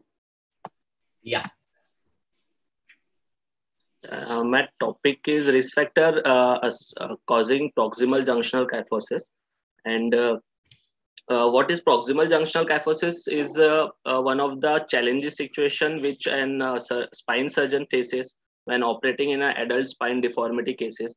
And it is defined as a proximal junction sagittal angle more than 10 degree or at least 10 degree greater than the preoperative measurement it is calculated by drawing the line along the cephalad end plate of the UIV and UIV plus to upper end plate. And uh, proximal junctional failure, uh, which is a more uh, more uh, more different variant uh, than the proximal junctional kyphosis, uh, includes the structure failure, mechanical instability leading to listhesis, and other failures. the incidence of proximal junctional kyphosis is around 20 to 40 percent, which is very high and which leads to worsening of the sagittal imbalance, vertebral collapse, and neurological injury. That's why uh, the risk factor for the proximal junctional kyphosis in adult degenerative scoliosis needs to be kept in the mind uh, while operating in such patient. We have done a literature review, uh, specifically including two uh, meta-analysis and one review article uh, published in AO Spine, Global Spine, and Orthopedic Journal journals, uh, the risk factor can be divided as a patient related, surgery or surgeon related, uh, or radiographic parameters. The age is one of the uh, patient related risk factor. Uh, more than 55 years of age is the cause of increased sagittal imbalance and also with the age uh, disc degeneration muscle atrophy and facetal degeneration are said to be the cause of pjk also the low bone mineral density uh, which is the uh, cause of increased stress at the screw and the bone junction uh, causes the pjk incidence increases the incidence of pjk the radiographic parameter includes preoperative uh, sagittal vertical axis more than 5 centimeter which causes the increased stress factor at the uiv and liv also the post-operative greater correction of sv uh, sagittal vertebral axis. As uh, there are many studies which have shown as the age progresses, SVA also increases. So uh, they, the study has given us that as the, the correction should be done according to the patient specific factors, including the age. Also, other parameters include thoracic kyphosis more than 40 degree, uh, lower uh, preoperative lumbar lordosis or greater correction of lumbar lordosis. Surgeon-related complication includes aggressive muscle dissection, which includes the uh, upper segment uh, dissection of uh, facet joints and the posterior ligamentous structure, which makes the spine unstable. Also, pedicle screw at UIV is more causes more stress at the proximal junction when we compared it with the uh, hook uh, transverse uh, hook hook system at transverse or laminar hook. Uh, also, the distal fusion at the sacrum and pelvis said to increase the PJK risk. PJK risk, but uh, since uh, fusion at the sacrum and pelvis give a rigid fixation, which uh, which kind of topple the spine in the upper junction. Also, since there are no uh, movable segment in the spine, it increases the movement at the upper junction and which might lead to PJK. Also, there are study which shows that chrome, use of chromium cobalt rod increases the time duration of developing the PJK compared to titanium. And also surgical technique like rod cantilever technique with multiple uh, Smith-Peterson osteotomy increases the risk at proximal junctions. Uh, to sum up, all these risk factors has to kept in mind while uh, while doing the surgery uh, for correction of the adult spine deformity uh, especially at the proximal level. Thank you. Excellent. Any thoughts or additions? so we talked of surgeon factor, surgery factors and patient factors. Yes, sir. All clear. BMD becomes the biggest enemy because all of them have a bad BMD. Uh, the thing is that the spinal BMD gets misread in an adult scoli, and invariably the value is much better than the actual quality of the bone. And you have to look at the hip or the wrist BMD to judge pre-operatively. And some centers actually give uh, six months of Forteo pre-op before you even take these guys up for surgery. Not only because of bone stocks, but because of also uh, muscle mass to get yes. the sarcopenia in order. Because one of the risk factors is poor muscle mass. and uh, Harshal had a paper. What what was that paper about fatty replacement of? Uh... Yes, sir. The uh, there are multiple papers uh, quoted basically. Uh, some of the papers quoted for a posterior spinal fusion, and they have studied on MRI the uh, quality of the muscles, and uh, that we are going to talk in my slides also. That uh, the muscle atrophy or fatty infiltration of the muscle is significantly more for the erector spinae compared to the anterior muscles. So we lose the muscle tone posteriorly. And there's a difference between proximal junctional kyphosis versus proximal junctional failure. And uh, that is something that people are now talking about. And um, also symptomatic versus asymptomatic. Because the asymptomatic uh, percentage or radiological percent much higher than the clinical percentage. So uh, you got to think about all those. Sorry, uh, Abhay, what is the difference between failure and kyphosis? I mean, uh, Subhanshu? Basically, Uh, So the P, uh, PJK is the uh, ky- uh, kyphosis occurring at the proximal junction, and it should be equal to or less th- uh, equal to or greater than 10 degree. While uh, with failure, it should be more than 15 degree with uh, structural uh, structural and mechanical instability, basically they like could uh, be and uh, fracture Yeah. or uh, you know discitis kind of an infection or a screw giveaway which is not all included in pjk pjk is where everything is fine and the uh, upper level is toppled over so failure happens at multiple levels kyphosis that happens only at the uh, disc facet level UIV1. Then also the clinical uh, association with a radiological kyphosis would be a proximal junction failure. Correct. Failure is uh, usually uh, considered as a clinical uh, presentation. Any other questions? Right. So let's move into harshal's uh, talk. Uh, my screen is visible. yes. So basically, uh, I'm going to talk about pelvic parameters today. And uh, why this topic is because after a wonderful decluttering of pelvic parameters and uh, classification, we all tend to feel that uh, we understand the entire thing and uh, we can plan a surgery. But there are multiple more factors uh, associated with it. And why cynical perspective is because uh, this is a war between uh, ISSG group and ES, ESSG group, the Americans versus the Europeans. Uh, and they are all having their own uh, parameters and factors and corrective maneuvers and surgical decision making. But for our Indian perspective, we have had a big follow up of our mentors' cases where we have seen that uh, plain decompressions and small surgeries, limited fusions have given wonderful results. So that's why the cynical uh, perspective. And uh,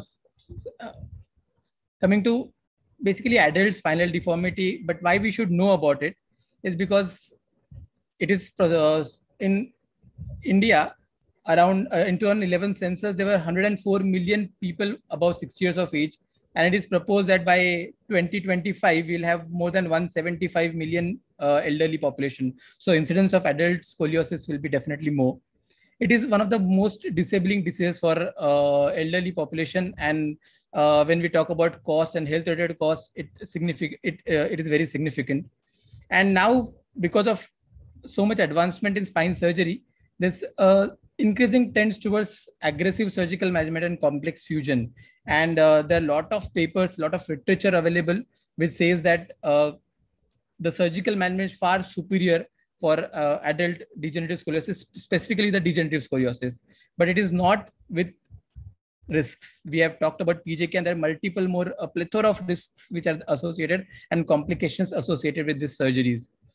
And there's a significant lacunae in understanding about the pathogenesis of the problem. There's a multiplanar uh, evidence to this problem uh, where we have lacunae in radiological parameters, lot of papers from earlier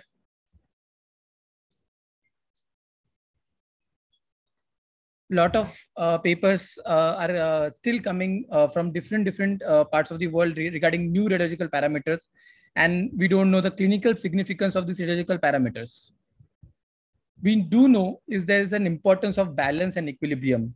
We have learned from this cone of economy by Dubousset that energy conservation is significantly important for health quality of life And there are recent literatures from uh, 2018 and 2020 uh, and even 2021, which are available, which says that achieving a good balance is very important for health related quality of life. And we have talked about all these spinopelvic parameters and newer measures also sir describe about C7 pelvic tilt, uh, sacral tilt, uh, and global tilt. But are these to be taken as a gospel?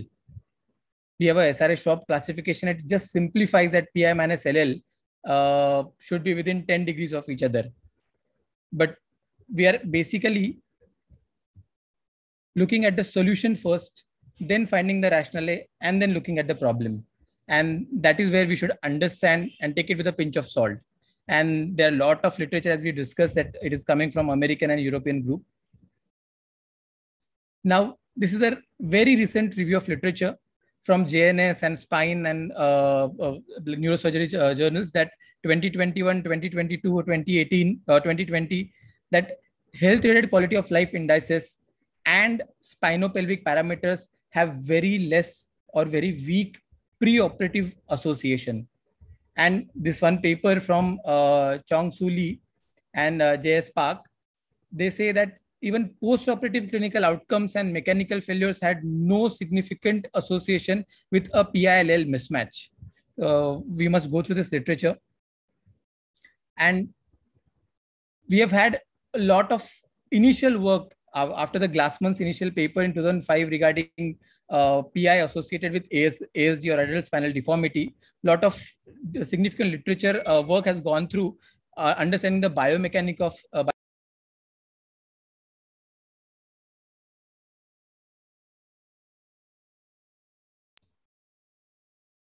Am, am I audible? Yes, Harshal.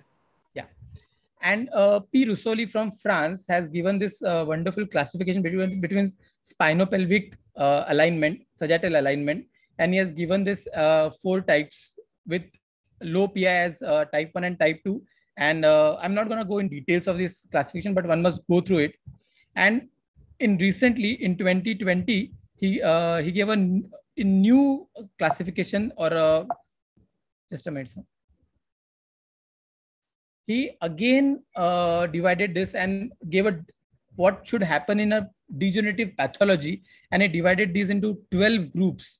Type 1 going into uh, kyphosis and asd type 2 going into kyphosis and asd type 3 going into kyphosis and asd and type 4 going into kyphosis and asd and has defined each and every uh, type of spinopelvic alignment and uh, how they progress to uh, adult spinal deformity recently has added one more class, uh, the type 3A or type 3 anti-verted. And is, there are now five uh, types of spinopelvic alignments which are there uh, now. Which means you're trying to say that they're saying that the PI should match LL. That principle, uh, what we described, simplified. is not universally applicable. It is not universal. We'll go through. We'll we'll uh, get into that also, sir.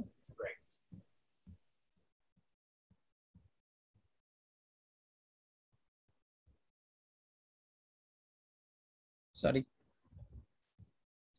So the first point, according to Roussouly, that uh, when he defined the new class, the type 3A, he also told that how many percent in his study, he had around 600 uh, uh, individuals, there are 16% in this new group.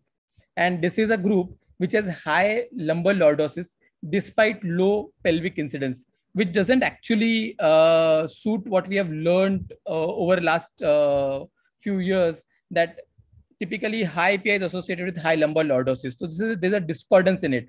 And when you try to correct this, typically we end up in a problem. So in this cases, what he, he had, we have to do in this example, we can see that the lumbar lordosis was reduced and that increased the pelvic tilt and that achieved this uh, global sagittal balance.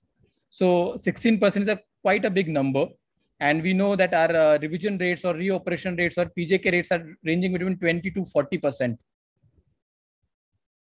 And that's why this uh, European spine study group, there are multiple papers will find that what they are trying to do is not PI minus LL. They are trying to classify each curve into what curve it, it falls into Roussouly curve. And now uh, their surgical strategy is to get that back to a normal Roussouly curve, either type 1, type 2, type 3, or type 4. And uh, the results are excellent as per their literature. Second point is lumbar lordosis. What we don't understand about lumbar lordosis is first measurement. What we grossly measure lumbar lordosis is between L1 to S1.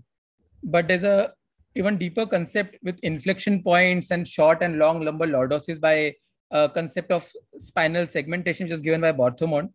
And that typically aligns lumbar lordosis in a upper lumbar lordosis and lower lumbar lordosis. And there's a significance to it also.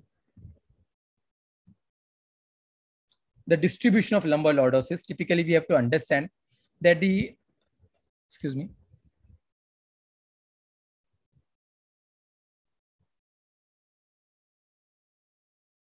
uh, the, lumbar lordosis, when we talk about low PI, average PI and high PI, the in asymptomatic individual, it is typically constant between 35 to uh, 37 degree, uh, degrees of lower lumbar lordosis. And the upper lumbar lordosis varies significantly from 16 degrees to 30 degrees. And this should be important in surgical corrections. So when we have a patient with high PI, our osteotomy should be such that we properly distribute this lumbar lordosis because that is going to have a significant impact in our uh, clinical and radiological outcome.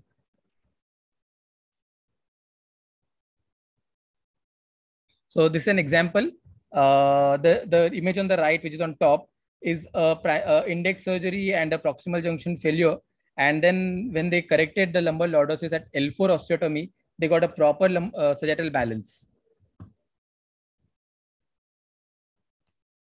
The third key point we're talking about is patient-specific nuances or patient-specific factors, the age factor, the neurogenic compression factor, and soft tissue factors. We know that aging is a kyphosing event. We have heard this over a period of last uh, two speakers also. Sacropelvic parameters varies with age. We, we don't have a constant PI also. PI also varies with age and it has been proven in literature by multiple authors. Sagittal balance and ability to compensate also varies. Younger patients have a higher demand for sagittal correction, but they have a better compensation available. Whereas elderly, we have to be quite clinical about correction and their compensation mechanism is very limited. And uh, Lafage et al. has given age adjusted alignment indices we must also know that uh, Lafage et al. has given this that with each decade, PT, PI minus LL and SVA varies by certain degrees. It is given in his paper. Why it is important, as we have discussed, that under correction of age adjusted alignment by many authors has been proven that it has a poor health related quality of index. We have to understand that elderly has a poor compensation potential and they have a rigid spine. Also, we must know that effect of posture on spinopelvic uh, parameters. We have discussed that earlier in a brief, that spinopelvic parameter on an X-ray can be very different from that what we have when patient is lying prone for surgery. And that's why uh, sometimes CT or MRI films can be quite helpful for us. We have a scout film. It will be quite helpful for us because it is done always on supine position and patient has been lying down for almost 20 to 30 minutes. So he has that muscle relaxation and uh, those can give you a quite idea that how a patient is going to be uh, on the surgical table and also what we talk about pi minus ll uh, within 10 degrees doesn't stand true for high thoracic kyphosis. There's a different formula altogether which is given in a, a, nice paper. On a top we can see two images a 30 year old 38 year old male and uh, with and an 89 year old female both having same pi and same ll but for them age adjusted alignment is significantly different. Coming to compression, we all know that neurogenic uh, compression or lumbar spinal stenosis aggravates crouch. And when that crouch gets aggravated, our spinopelvic uh, parameters go for a toss, or we have an uh, uh, undue problem in calculating parameters and difficulty in planning and that can sometimes lead to surgical overcorrections. And surgical overcorrections as one of the most prominent causes for proximal junction failures. Uh, and that is what we have learned over, over few years. Coming to soft tissue parameters. When we talk about age and muscle volume, typically with age, the muscle volume goes down, we know. But fat infiltration is one more factor where we have seen that lumbar spinal erector has a greater fat infiltration at almost 45%. The second greatest is there in hip and extensor, which is around 20%, and very minimal lumbar uh, the fat infusion happens in abdominal muscles. So you have an anterior stronger abdominal tone and posterior weaker abdominal tone, and that can be one of the cause of progressive crouch or progressive forward imbalance. We have multiple literature, uh, a lot of literature available right from 2007, where uh, they had studied about the posterior muscle masses on an MRI after posterior spinal fusion surgeries, and they have found that 27% of uh, cross section is reduced after fusion, distal to the fusion, and 2% proximal to the fusion. And that can be one of the cause for proximal junction failure. When we have talked about uh, PSF with TLIF, we have found that uh, there's a significant denervation of the muscles, and that can also be one of the cause for proximal junction failure, and uh, it can affect health-related quality of life index. And coming to adult spinal deformity surgeries, uh, this is a paper by Yoon in 2016, and they have found that whenever they have PJK in 38% population, they had smaller erector spinae and significantly larger fat infiltrations. So take home for this uh, talk is spinopelvic parameters have weak association with pre-op as well as post-op clinical measures, specifically health-related uh, quality of life. There's a poor association by literature between mechanical failures and PJKs with spinopelvic parameters. We have to always ask a question that is PI minus LL is an oversimplification of sagittal correction parameters. And we must always assess every curve individually patient and surgeon factors, which we have discussed earlier, and equip ourselves with current concepts. And also age, muscle tone, and neural compression are important factors for clinical outcome and surgical decision making. Thank you, sir. Excellent, Harshal. Actually, the whole idea was that, see, for fellows who have to give an exam, no, the discussion until Dr. Harshal's talk was very relevant because that's the, what the world is following, and you need to know the names, the numbers, the definitions, the angles, and the thought process. But uh, in clinical practice, uh, you know, everyone will agree that the complication rates of these surgeries, despite doing everything, are extremely high. And one of the reasons for that is that we are still following a relatively Ill, Ill understood concept. And uh, I mean, the simple thing is that all of us, when we grow old, we start having a flatter back. But in surgery, we are aiming to give you a back that is an 18 year old's back based on the principles of, uh, you know, of uh, Schwab's classification and that itself is a challenge because you're you're like putting a Ferrari engine in a Fiat car, as we famously say. So you're, you're not going to win the battle unless you do an age matched operation, and of course a disease or a requirement matched operation. So I think that is the bottom line, and this I think talk was very very uh, eye opening to give you the other side of the story. And the whole world is thinking like this. It's not just that we we put this talk here because the whole world is beginning to uh, feel that we are doing an overkill by following those rigid uh, principles and angles, and we should tone down somewhere. Any questions or thoughts? We've really busted time, but I'll quickly. Uh, Hriday, should I? We will just go Uh, to a few cases, more than cases. No, it's like uh, decision making. Basically, yeah, uh, practical. Yeah. yeah, practical decision making. Like uh, you know, this lady. So this is the prob. The uh, good thing is that every young patient does well. So anyone who's you know in the 50s or 60s who comes with degen scoli, no matter what you do, they'll do well. And it's really the uh, problem. The challenge is that they come to us at a much older age. So uh, this lady's come with progressive uh, claudication and back pain, and uh, the box on the left tells you what are the questions that come to your mind.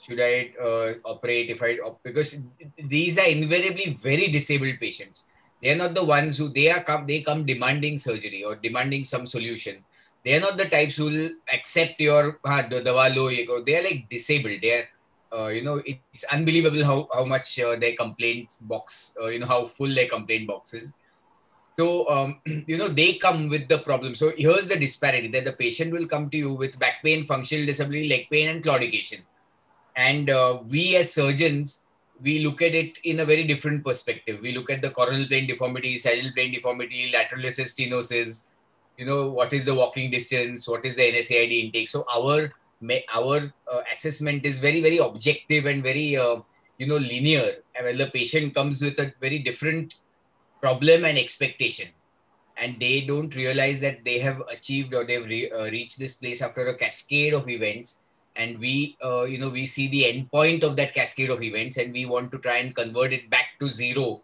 in uh, you know one go, and that's the problem. So the first pearl that a clinician must know is that you're not going to treat the X-ray. You hear the patient's symptoms out because uh, your patient is quite different from the standard SCOLI patient, as uh, Hriday mentioned or, or mentioned, or sorry, Tausif mentioned right at the start. Uh, there are uh, clear-cut differences between the, the average SCOLI patient that you see and this specific elderly means old adult degen scoli patient. And that's the entire lot of things that are seen which uh, you you have to think about before you offer treatment. Okay so don't treat it as a scoliosis. Look at it as a complex lumbar stenosis. So that's the other very important thing that every time you see a curve your eyes light up but think about it as a complex lumbar stenosis and you will find your answers. So here's a specific case. Uh, 66 is relatively young for an adult scoli. It's one of the favorable age groups to treat. And she comes with um, long-standing back pain with reduced walking distance, which is what we call a compensated stenosis, with a severe right thigh pain since one month, making her ADL difficult. So, um, what you do? What would you be thinking, Subhanshu here?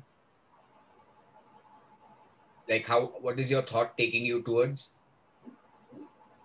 Uh, sir, it seems to be a de- uh, degen- degenerative scoliosis. Uh, no, sir. Uh, there is a rotation, uh, rotational, uh, rotational thing in that. Since the pedicles are not visible, it seems to be a AS kind of thing. AIS, this is a well maintained rotation. Yeah, rotational and the disc space are all maintained. Okay. And all. So uh, no, in this clinical scenario, so like I said, don't look at the X-ray, look at the patient. He's come with a one month history of significant thigh pain. Since the history is very uh, is uh, acute, uh, we are thinking about more like a disc or. Uh, yeah, absolutely, absolutely. So you have to first ask her that were you okay? Like three months ago, you still had that set of complaints, back pain and claudication, but were you comfortable then? And uh, you know, is so if she says that uh, sure enough, your MRI will show you that specific pathology. Now, it doesn't mean the MRI is showing no other pathology. There's clearly an LCS. There's clear there's an osteoporotic fracture up there, but there's a disc that's causing her a current complaint. And your best bet is to uh, you know do less in this scenario. Uh, so uh, the questions, of course, that will come to mind are, are all these. So should you deal with back pain? So the golden rule is that there's no surgery that cures back pain. So if back pain is a problem, try to not treat it with surgery at least. And uh, if you decompress, will the patient, uh, so you decompress and do a nerve surgery, will the patient be okay with the residual back pain? That's a question you got to ask her because her back pain has not suddenly increased. It's a leg pain that is thigh pain that's increased. How much bone to remove during decompression? Your worry is that when you decompress, you're further destabilizing. So um, that, that's that's one more thing that you want to answer yourself. And then uh, if she comes at 76 10 years from today asking for fusion will you have done her harm? So um, there are some natural history uh, papers which tell you what are the you know predictors for curve progression. And higher magnitude curves older age lateral listhesis rotatory subluxation and osteoporosis. None of these seem to be the factors in this particular case but you got to think about this uh, these are likely to progress and uh, uh, if these factors are not so the progression is not necessarily linear. Just because at 66 she has a 20 degree curve it doesn't mean that 76 she's going to have an 80 degree curve.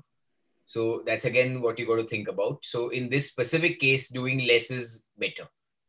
I think all of you would agree with this and uh, you know the big question is that i do a decompression now but she comes with a degen scoli which needs a big operation at 75 don't do preemptive surgeries because if you do a big surgery now, she may come with a PJK, you know, in two years. So uh, it does. You're not kind of solving any problems. So just deal with the trouble that you have on hand, and this this is the easiest way to treat a degen scoli patient.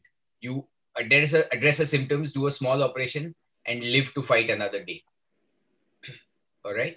So rarely does a patient with long-standing symptoms present for surgery. Rarely do such patients have a specific localizing overwhelming pathology, and they rarely do exceedingly well. So these are like the golden uh, pearls that you got to remember. And if you can identify the cause and treat it, then you're in a better, you know, better place, right? So then the question is if you need to fuse, should you do an apical fusion or go long? And the whole worry about apical fusion is that if you do an apical fusion like this, the spine may topple over either in the AP plane or in the lateral plane. And um, that is the big concern. Otherwise, apical fusion seems like an easy way out. So just do a short fusion and get away.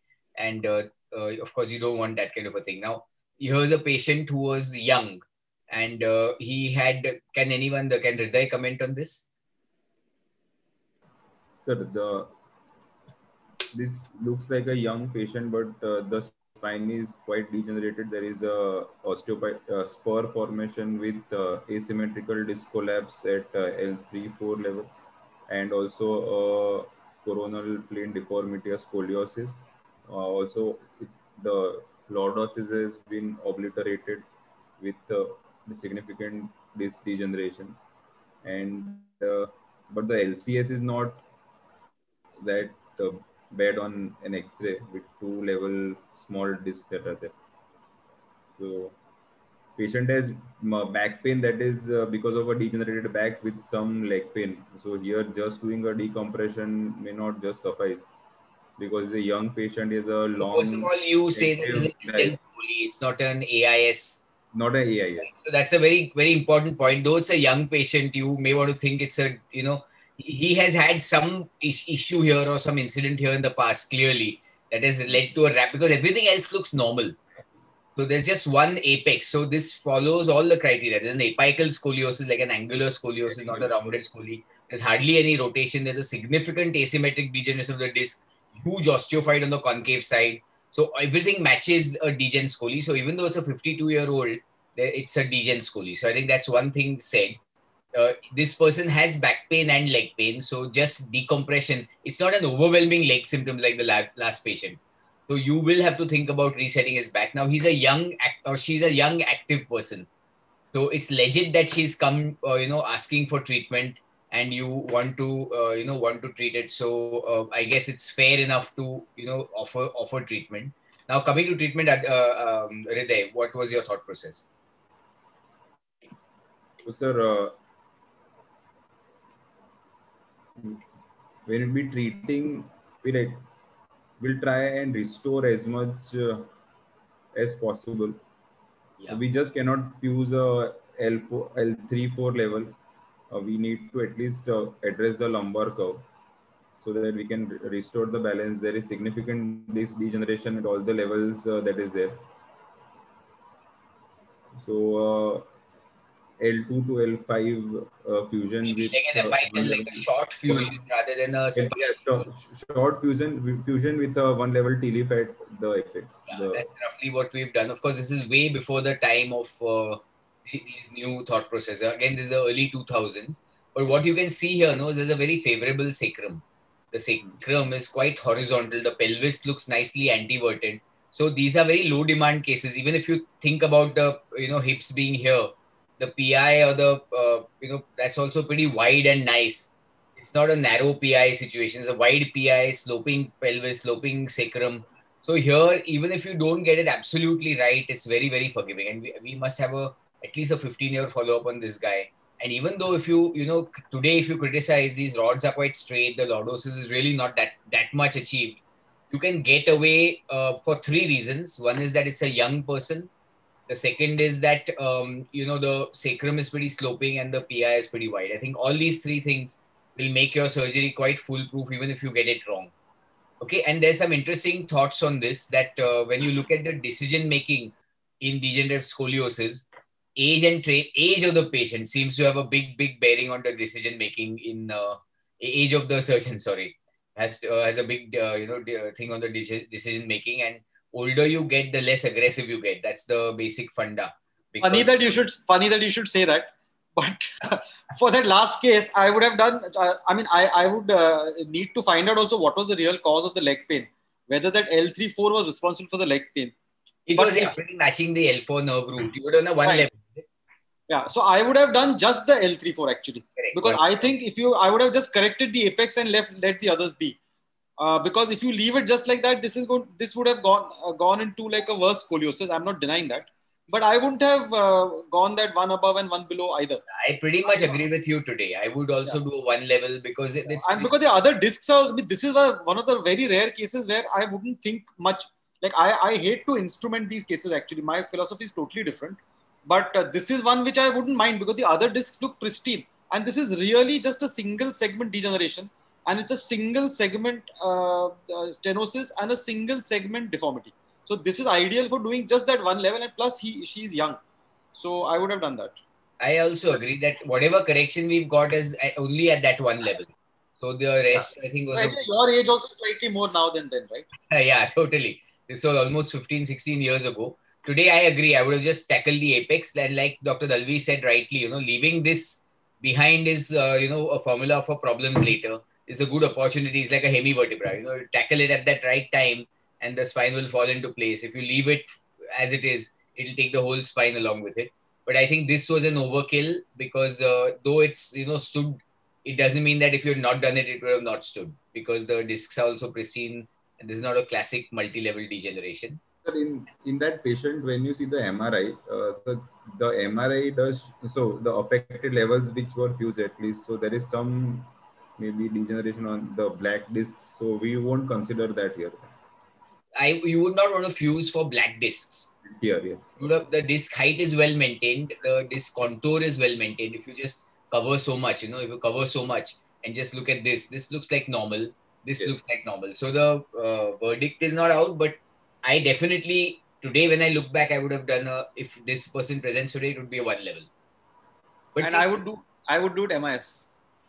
okay, yeah, because there's no true decompression also needed. So again, I think So that's one, if it's one, also it's one side. If Yeah. it's a one-sided leg pain, and then I would do for whatever it's worth, muscle preservation or whatever it is. I would do this MIS because it's an easy MIS. case for the Olif guys. The Olif, Olif as well. Olif Yeah. as well. Yeah, it's a great case for them. But you don't get these that often, you know. These Yes, that's what I'm saying. It's one of the rare cases which I would operate. So here's the other, uh, you know, uh, significant literature. Of course, this is some time back, 2010, but it's again by some of the best authors. So when they compared a huge bunch of patients who and some underwent decompression alone, some decompression with limited fusions, some decompression with long fusions, the ones who underwent decompression alone uh, had a fair ODI improvement. But when you ask them, will you have the same surgery again? They were not so happy. So their actual result of surgery was not as good because the expectation mismatch was there. They didn't meet that, but complication and morbidity was least. While the group three, where you went the whole hog, the ones who did well were absolutely happy. But uh, you know, the complication and morbidity was significantly high.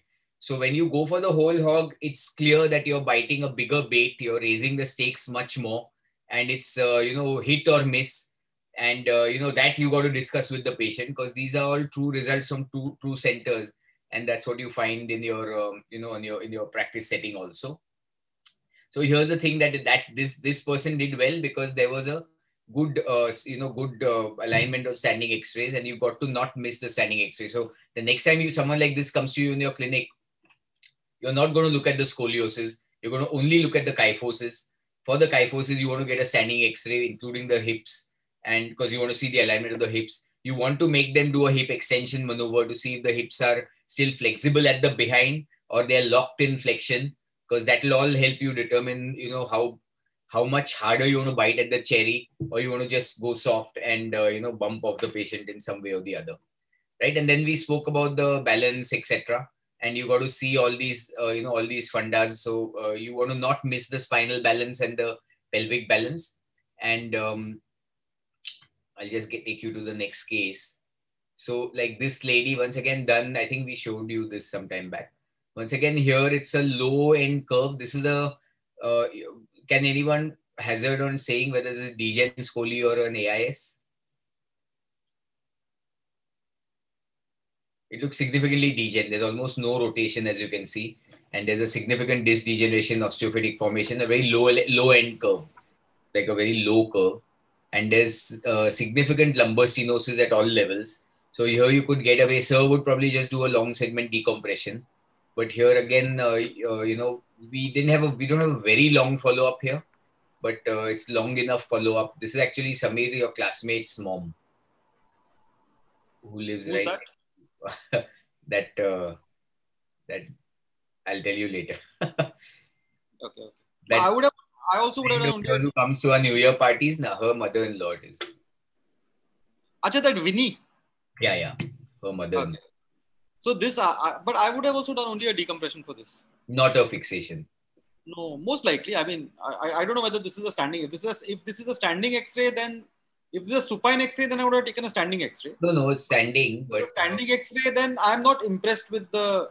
I'm not impressed enough with the uh, with the curvature, with the deformity part of it. Uh, and at 77, I will say that I don't know about the back pain. I'm operating for the leg pain. right.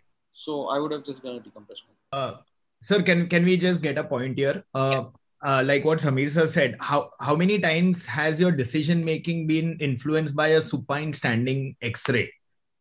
Supine or standing? No, both supine AP and standing AP. I think today I will definitely do a standing X-ray uh, because today when a patient like this comes, no, you don't call it a degen scoli, you call it a degen uh, kyphosis actually. And the only thing that matters to you is the sagittal balance or the kyphosis. And I would uh, definitely want to see a standing X-ray. Yeah. No, but I'll, I, I see here again. Here again is the one which uh, you know. I, I don't think one can really talk so much about even the kyphosis. Even this somehow here they don't have a lateral standing X-ray Yeah, only exactly. This because it's a it's an MRI which is there. But uh, you one must also understand that part of the kyphosis or the crouch is because of the stenosis, and after you uh, correct the stenosis, they actually stand much straighter. So you can't just you know look at a patient who comes to you slightly crouched and bent over and say you want to correct this patient. By just decompressing, this patient will auto balance. So whether to do such a big operation with it with its own different levels of failure and uh, levels of complexity and levels of thinking, because then again, like if I want to operate this patient, I'll have to sit and read all these articles. I'll have to uh, see this whole webinar all again from the beginning. So what are the various indicators, blah blah blah. But whereas if you don't, so there is one uh, one one line, although it's not ending yet, a conclusion for this uh, entire webinar on degenerative scoliosis is that you need to know all of this, or all of this is very important if you're doing any fusion. If you're not doing any fusion, it does not matter what the pelvic parameters are. It does not matter what the ba- balance is or what the imbalance is. So your entire thinking of what to do, how much to correct, how much lordosis to give, how many levels to, is only if you're actually bothering to do it if you're not fusing, you just don't get into that. Yeah. You don't need to get into that at all. So, and that the problem is that this thing is going. To see, why I'm not excited by this is because the that whole like a lot of thing in medicine, they go round and round in circles, and then they come back to the first square. By the time you have you're on the third square, you know. So what happens is the whole thing goes round and round and round, and then they'll come back to saying, "Oh, sorry, sorry, we were all wrong." So then those who then follow that, I ended up leaving a whole trail of mistakes behind. So I'm not saying that you all are making that one is making mistakes by fusing these, but I'm just saying that th- this knowledge is evolving too much. They also don't know what's happening. They're like chasing their tail, and biology completely beats all of this. So biology makes you lose every time, whether it's osteoporosis, whether it's poor muscles, you know, whatever it is, biology always uh, beats you whenever you're trying to win in these cases. So that, that's all. But anyway, that is too much philosophy at this point. No, no, but I don't But know to come whether back- clear, but I think you're sounding absolutely spot on. Because what you said is actually absolutely spot on, and you're able to, uh, you know, uh, put it in words. It's great. But the crouch bit, we all know, and Harshal discussed it, that uh, there's a physiological kyphosis and a structural kyphosis. So the physiological kyphosis gets missed because of the crouch and the, you know, compression. Priyank, you were saying something? No, no, sir. I, don't I, Harshal, I was very impressed with Harshal's presentation. It was very mature, actually. Yeah that topic was itself, uh, you know, a game changer. Now, what about this one? This is a 55 year old, so again, a relatively young person. Uh, this looks like an AIS which has gone into Yeah. Yeah, degeneration. neglected, neglected. Yeah. Yeah. Significant rotation. But um, the question is will you go L1 to L3 like an apical fusion? Will you go T10 to L5 or will you go the whole hog? Uh, assuming that this person has enough symptoms demanding surgery. You see, there's a chota listhesis happening there also at 4 5. Yeah, no. So the question here is that, oh, does he have lumbar stenosis, or is are we operating for the scoliosis, or are we operating for a lumbar? Does he have stenosis at L4, L5, and L5S1? Because that would be important. I think we are all over the place in this one. I don't Yeah, know. What, because then you treat it like a you treat it like a scoliosis. You can't go short in this. That's for sure. You can't do just a very short one. You have to treat it. I think what you did, whatever little X-ray I saw, is what I would have done. So like a T10 to L5 type. So what about the S1? Like this is the one, no? Where because honestly, I these X-rays and all, I think not matching up. It's all uh, all over the place. But this is the one where I would want to leave the sacrum behind. Yes. What is the age? It's 55. There's a good disc here. No, so I will tell this patient that I'm going to do you to L5 and 15 to 20 years down later, you're going to need to be extended. Yeah, But yeah, at least then we leave you. Yeah. Fair enough. Because 15 to 20 years, the whole life changes. You know, the whole world has changed. There may be something very different available for that. So even if she, if, if my surgery holds on for five or seven years, I think it's a good, uh, good win. Uh, Priyank, you have any thoughts? No, I agree with you, sir.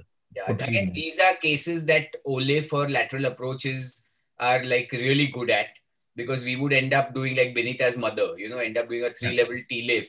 It's a 55 year old, they'll manage it well. But an elderly person like Benita's mother Yeah. would really have a lot of blood loss. And uh, we lost a patient, uh, Samir, recently, a similar one. I mean, three, four months after surgery, we lost her, but the blood loss was a lot, like one and a half liter doing surgery. Did three level TLIF. We got the entire X ray bang normal, like a great lordosis, great uh, coronal correction. But the hit that the patient took was very high. It was pretty similar to this. So um, here, Olif would have, with minimum blood loss, corrected three levels beautifully, the anterior lateral approach. And after that, you do a long posterior correction. The other option is a staged operation. If, she, if this person was a 77 year old, you go in, do releases, do um, you know screws, and come out, and go in another day after three or four days and do your interbody work and correction, and that's another option. Uh, I think these are the two options here. So the only issue is uh, considering anterior approaches like O-lifts and X-lifts in uh, a degen scoli versus a neglected AIS. In a neglected AIS, there's uh, because of the rotational deformity, the the the the location of the psoas and the uh, the and the arteriovenous uh, like the aorta vena cava, the rotation there is a distortion as far as the normal teachings are concerned. So the chance of complications are much higher than a regular degen scoli. Have you read about this? Yeah, uh, not read about it, but uh, at Cardiff they used to do a lot of XLIFs, and when they used to do a lot of XLIFs, the people who were uh, proponent of XLIFs, they were a little skeptical uh, doing XLIFs in patients with uh, neglected AIS uh, as compared to doing it in patients with uh, degen scolies. Okay, because it's again counterintuitive because in the uh, you know, scoliosis is the easiest case to learn your anterior approaches because the spine is a good morning spine. You open and the spine is looking at you. All the vascular and bad structures have fallen away. So if you're actually approaching from the convex side, it's a good morning spine and it should be actually quite easy. So it's intuitive unless these guys have been approaching from the concave side of So what they used to specifically do is then they used to get MRI cuts at every section, and then they used to uh, kind of uh, make a note of what angle they are going to get into that uh, uh, safe corridor. So that that specific done anterior surgery and directly been doing OLIFs. Yeah. I think because you know, like I said, intuitively it should be a Correct. no-brainer to just get in because you just hit the spine straight away. correct. In Benita's mom's case, also, we are actually almost tempted to do anterior surgery Yeah, because she was to go uh, uh, surgery for her abdomen that time. correct. So just a few articles before we finish. There's some nice articles. This is like 5,000 cases uh, which are studied for wound complications, and there's 2.5% uh, incidence of wound complications in these patients. And the factors that uh, you know that increase the rate of wound complications are posterior fusions, obese patients, uh, pre-operative blood loss. I mean perioperative blood loss. Of course, A, poor ASA scores and operative time that's uh, longer. Here's a very interesting article again from a, a very strong group where um, uh, you know there's a loss of basically they've uh, looked at the loss of correction in a in a adult scoli patient and the loss of correction at the end of two years can be very very high. So 61% patients lost their sva of that magnitude almost 5 centimeters. 65% lost their pt you know uh, of again 4 or 5 degrees. And uh, the whole pi to ll ratio 40% people lost to the a magnitude of 20 25 degrees. And uh, the risk factors were again comes back to the same thing that people who have um, you know a worse uh, preoperative sva so poor spine balance where you've done a massive correction they are more likely to go back to where they came from And um, uh, strangely, this is a new thing that interbody fusion seems to because interbody fusion suggests that you've done more, uh, has a higher likelihood of uh, LL loss. And there's one more good article. I would, uh, this is the kickstand and tie beam procedure, which is being now extensively used. So there are two things that are being ex- extensively used. One is that if you cross the L5S1 junction, you add an extra rod. So a double rod construct versus a quadruple rod construct, they've shown a significant, uh, you know, lower rate of pseudoarthrosis. So they say it's not biology, it is mechanics that causes the L5S1 pseudoarthrosis. So now when you go beyond uh, between L5S1, you try to put an additional double rod. And when you're trying to correct an ASD kind of situation as seen in this case, this is called a kickstand, which means that you correct the kypho, uh, correct the coronal deformity and then do an additional concave rod to pull things together and distract slightly. And a tie rod or a tie uh, tie rod is a rod that comes here in a similar way and it pushes this inside. And I'll try and share the article on the group on the kickstand and tie rod. And um, um, yeah, that's that actually. That's that's the discussion. So, uh, any thoughts? Otherwise, we should be good. Just one point, sir. That whatever we have discussed today, is just we have barely scratched the surface of the literature which is available. And for adult degen scoliosis, there's n number of articles for every specific point. So, and we almost at least fellow level and early level, we should know this because these cases are going to come with age increasing and population absolutely so uh, you know any more discussion is uh, welcome but i don't know who's going to bite the bait because this is all i know about adult scoli so someone else who wants to pitch in because you know the collective experience has been not high we are in india not doing that kind that level of surgeries that the americans are because our patients are lower demanding but um, I don't know of too many guys except the Olif guys. Maybe maybe doing a little bit more. But honestly, Olif cases are very very selective. Like Olif is not a panacea. It's not applicable across the board. It's applicable to a small group of patients. So um, I still don't think we've threaded the needle as far as adult scoli is concerned. Right. So if there are no other thoughts or questions, we can call it a day and uh, grab dinner right? So thank you so much, and we'll quickly announce our next uh, seminar. And Samir, thank you for you know sitting through and giving giving us such invaluable inputs because it uh, you know adds to the collective uh, wisdom of everybody. No, it was a very uh, everybody spoke very well. I think all the thought process of the, whoever spoke has been very clear. So yeah, and actually this helps us read more and think more about things. So we'll try and pick up another controversial topic the next time also. So we'll try and keep it abreast with uh, you know what we don't know. Try to fill the gaps. So thanks this time, this time Abhay gave me 10 minutes notice, so I couldn't read. Next time, give you at least 15 20 minutes notice. Hello. Thanks a bunch and see you all soon, maybe Saturday or Friday or something. Cheers. Thank you, Thank you sir. Thank you.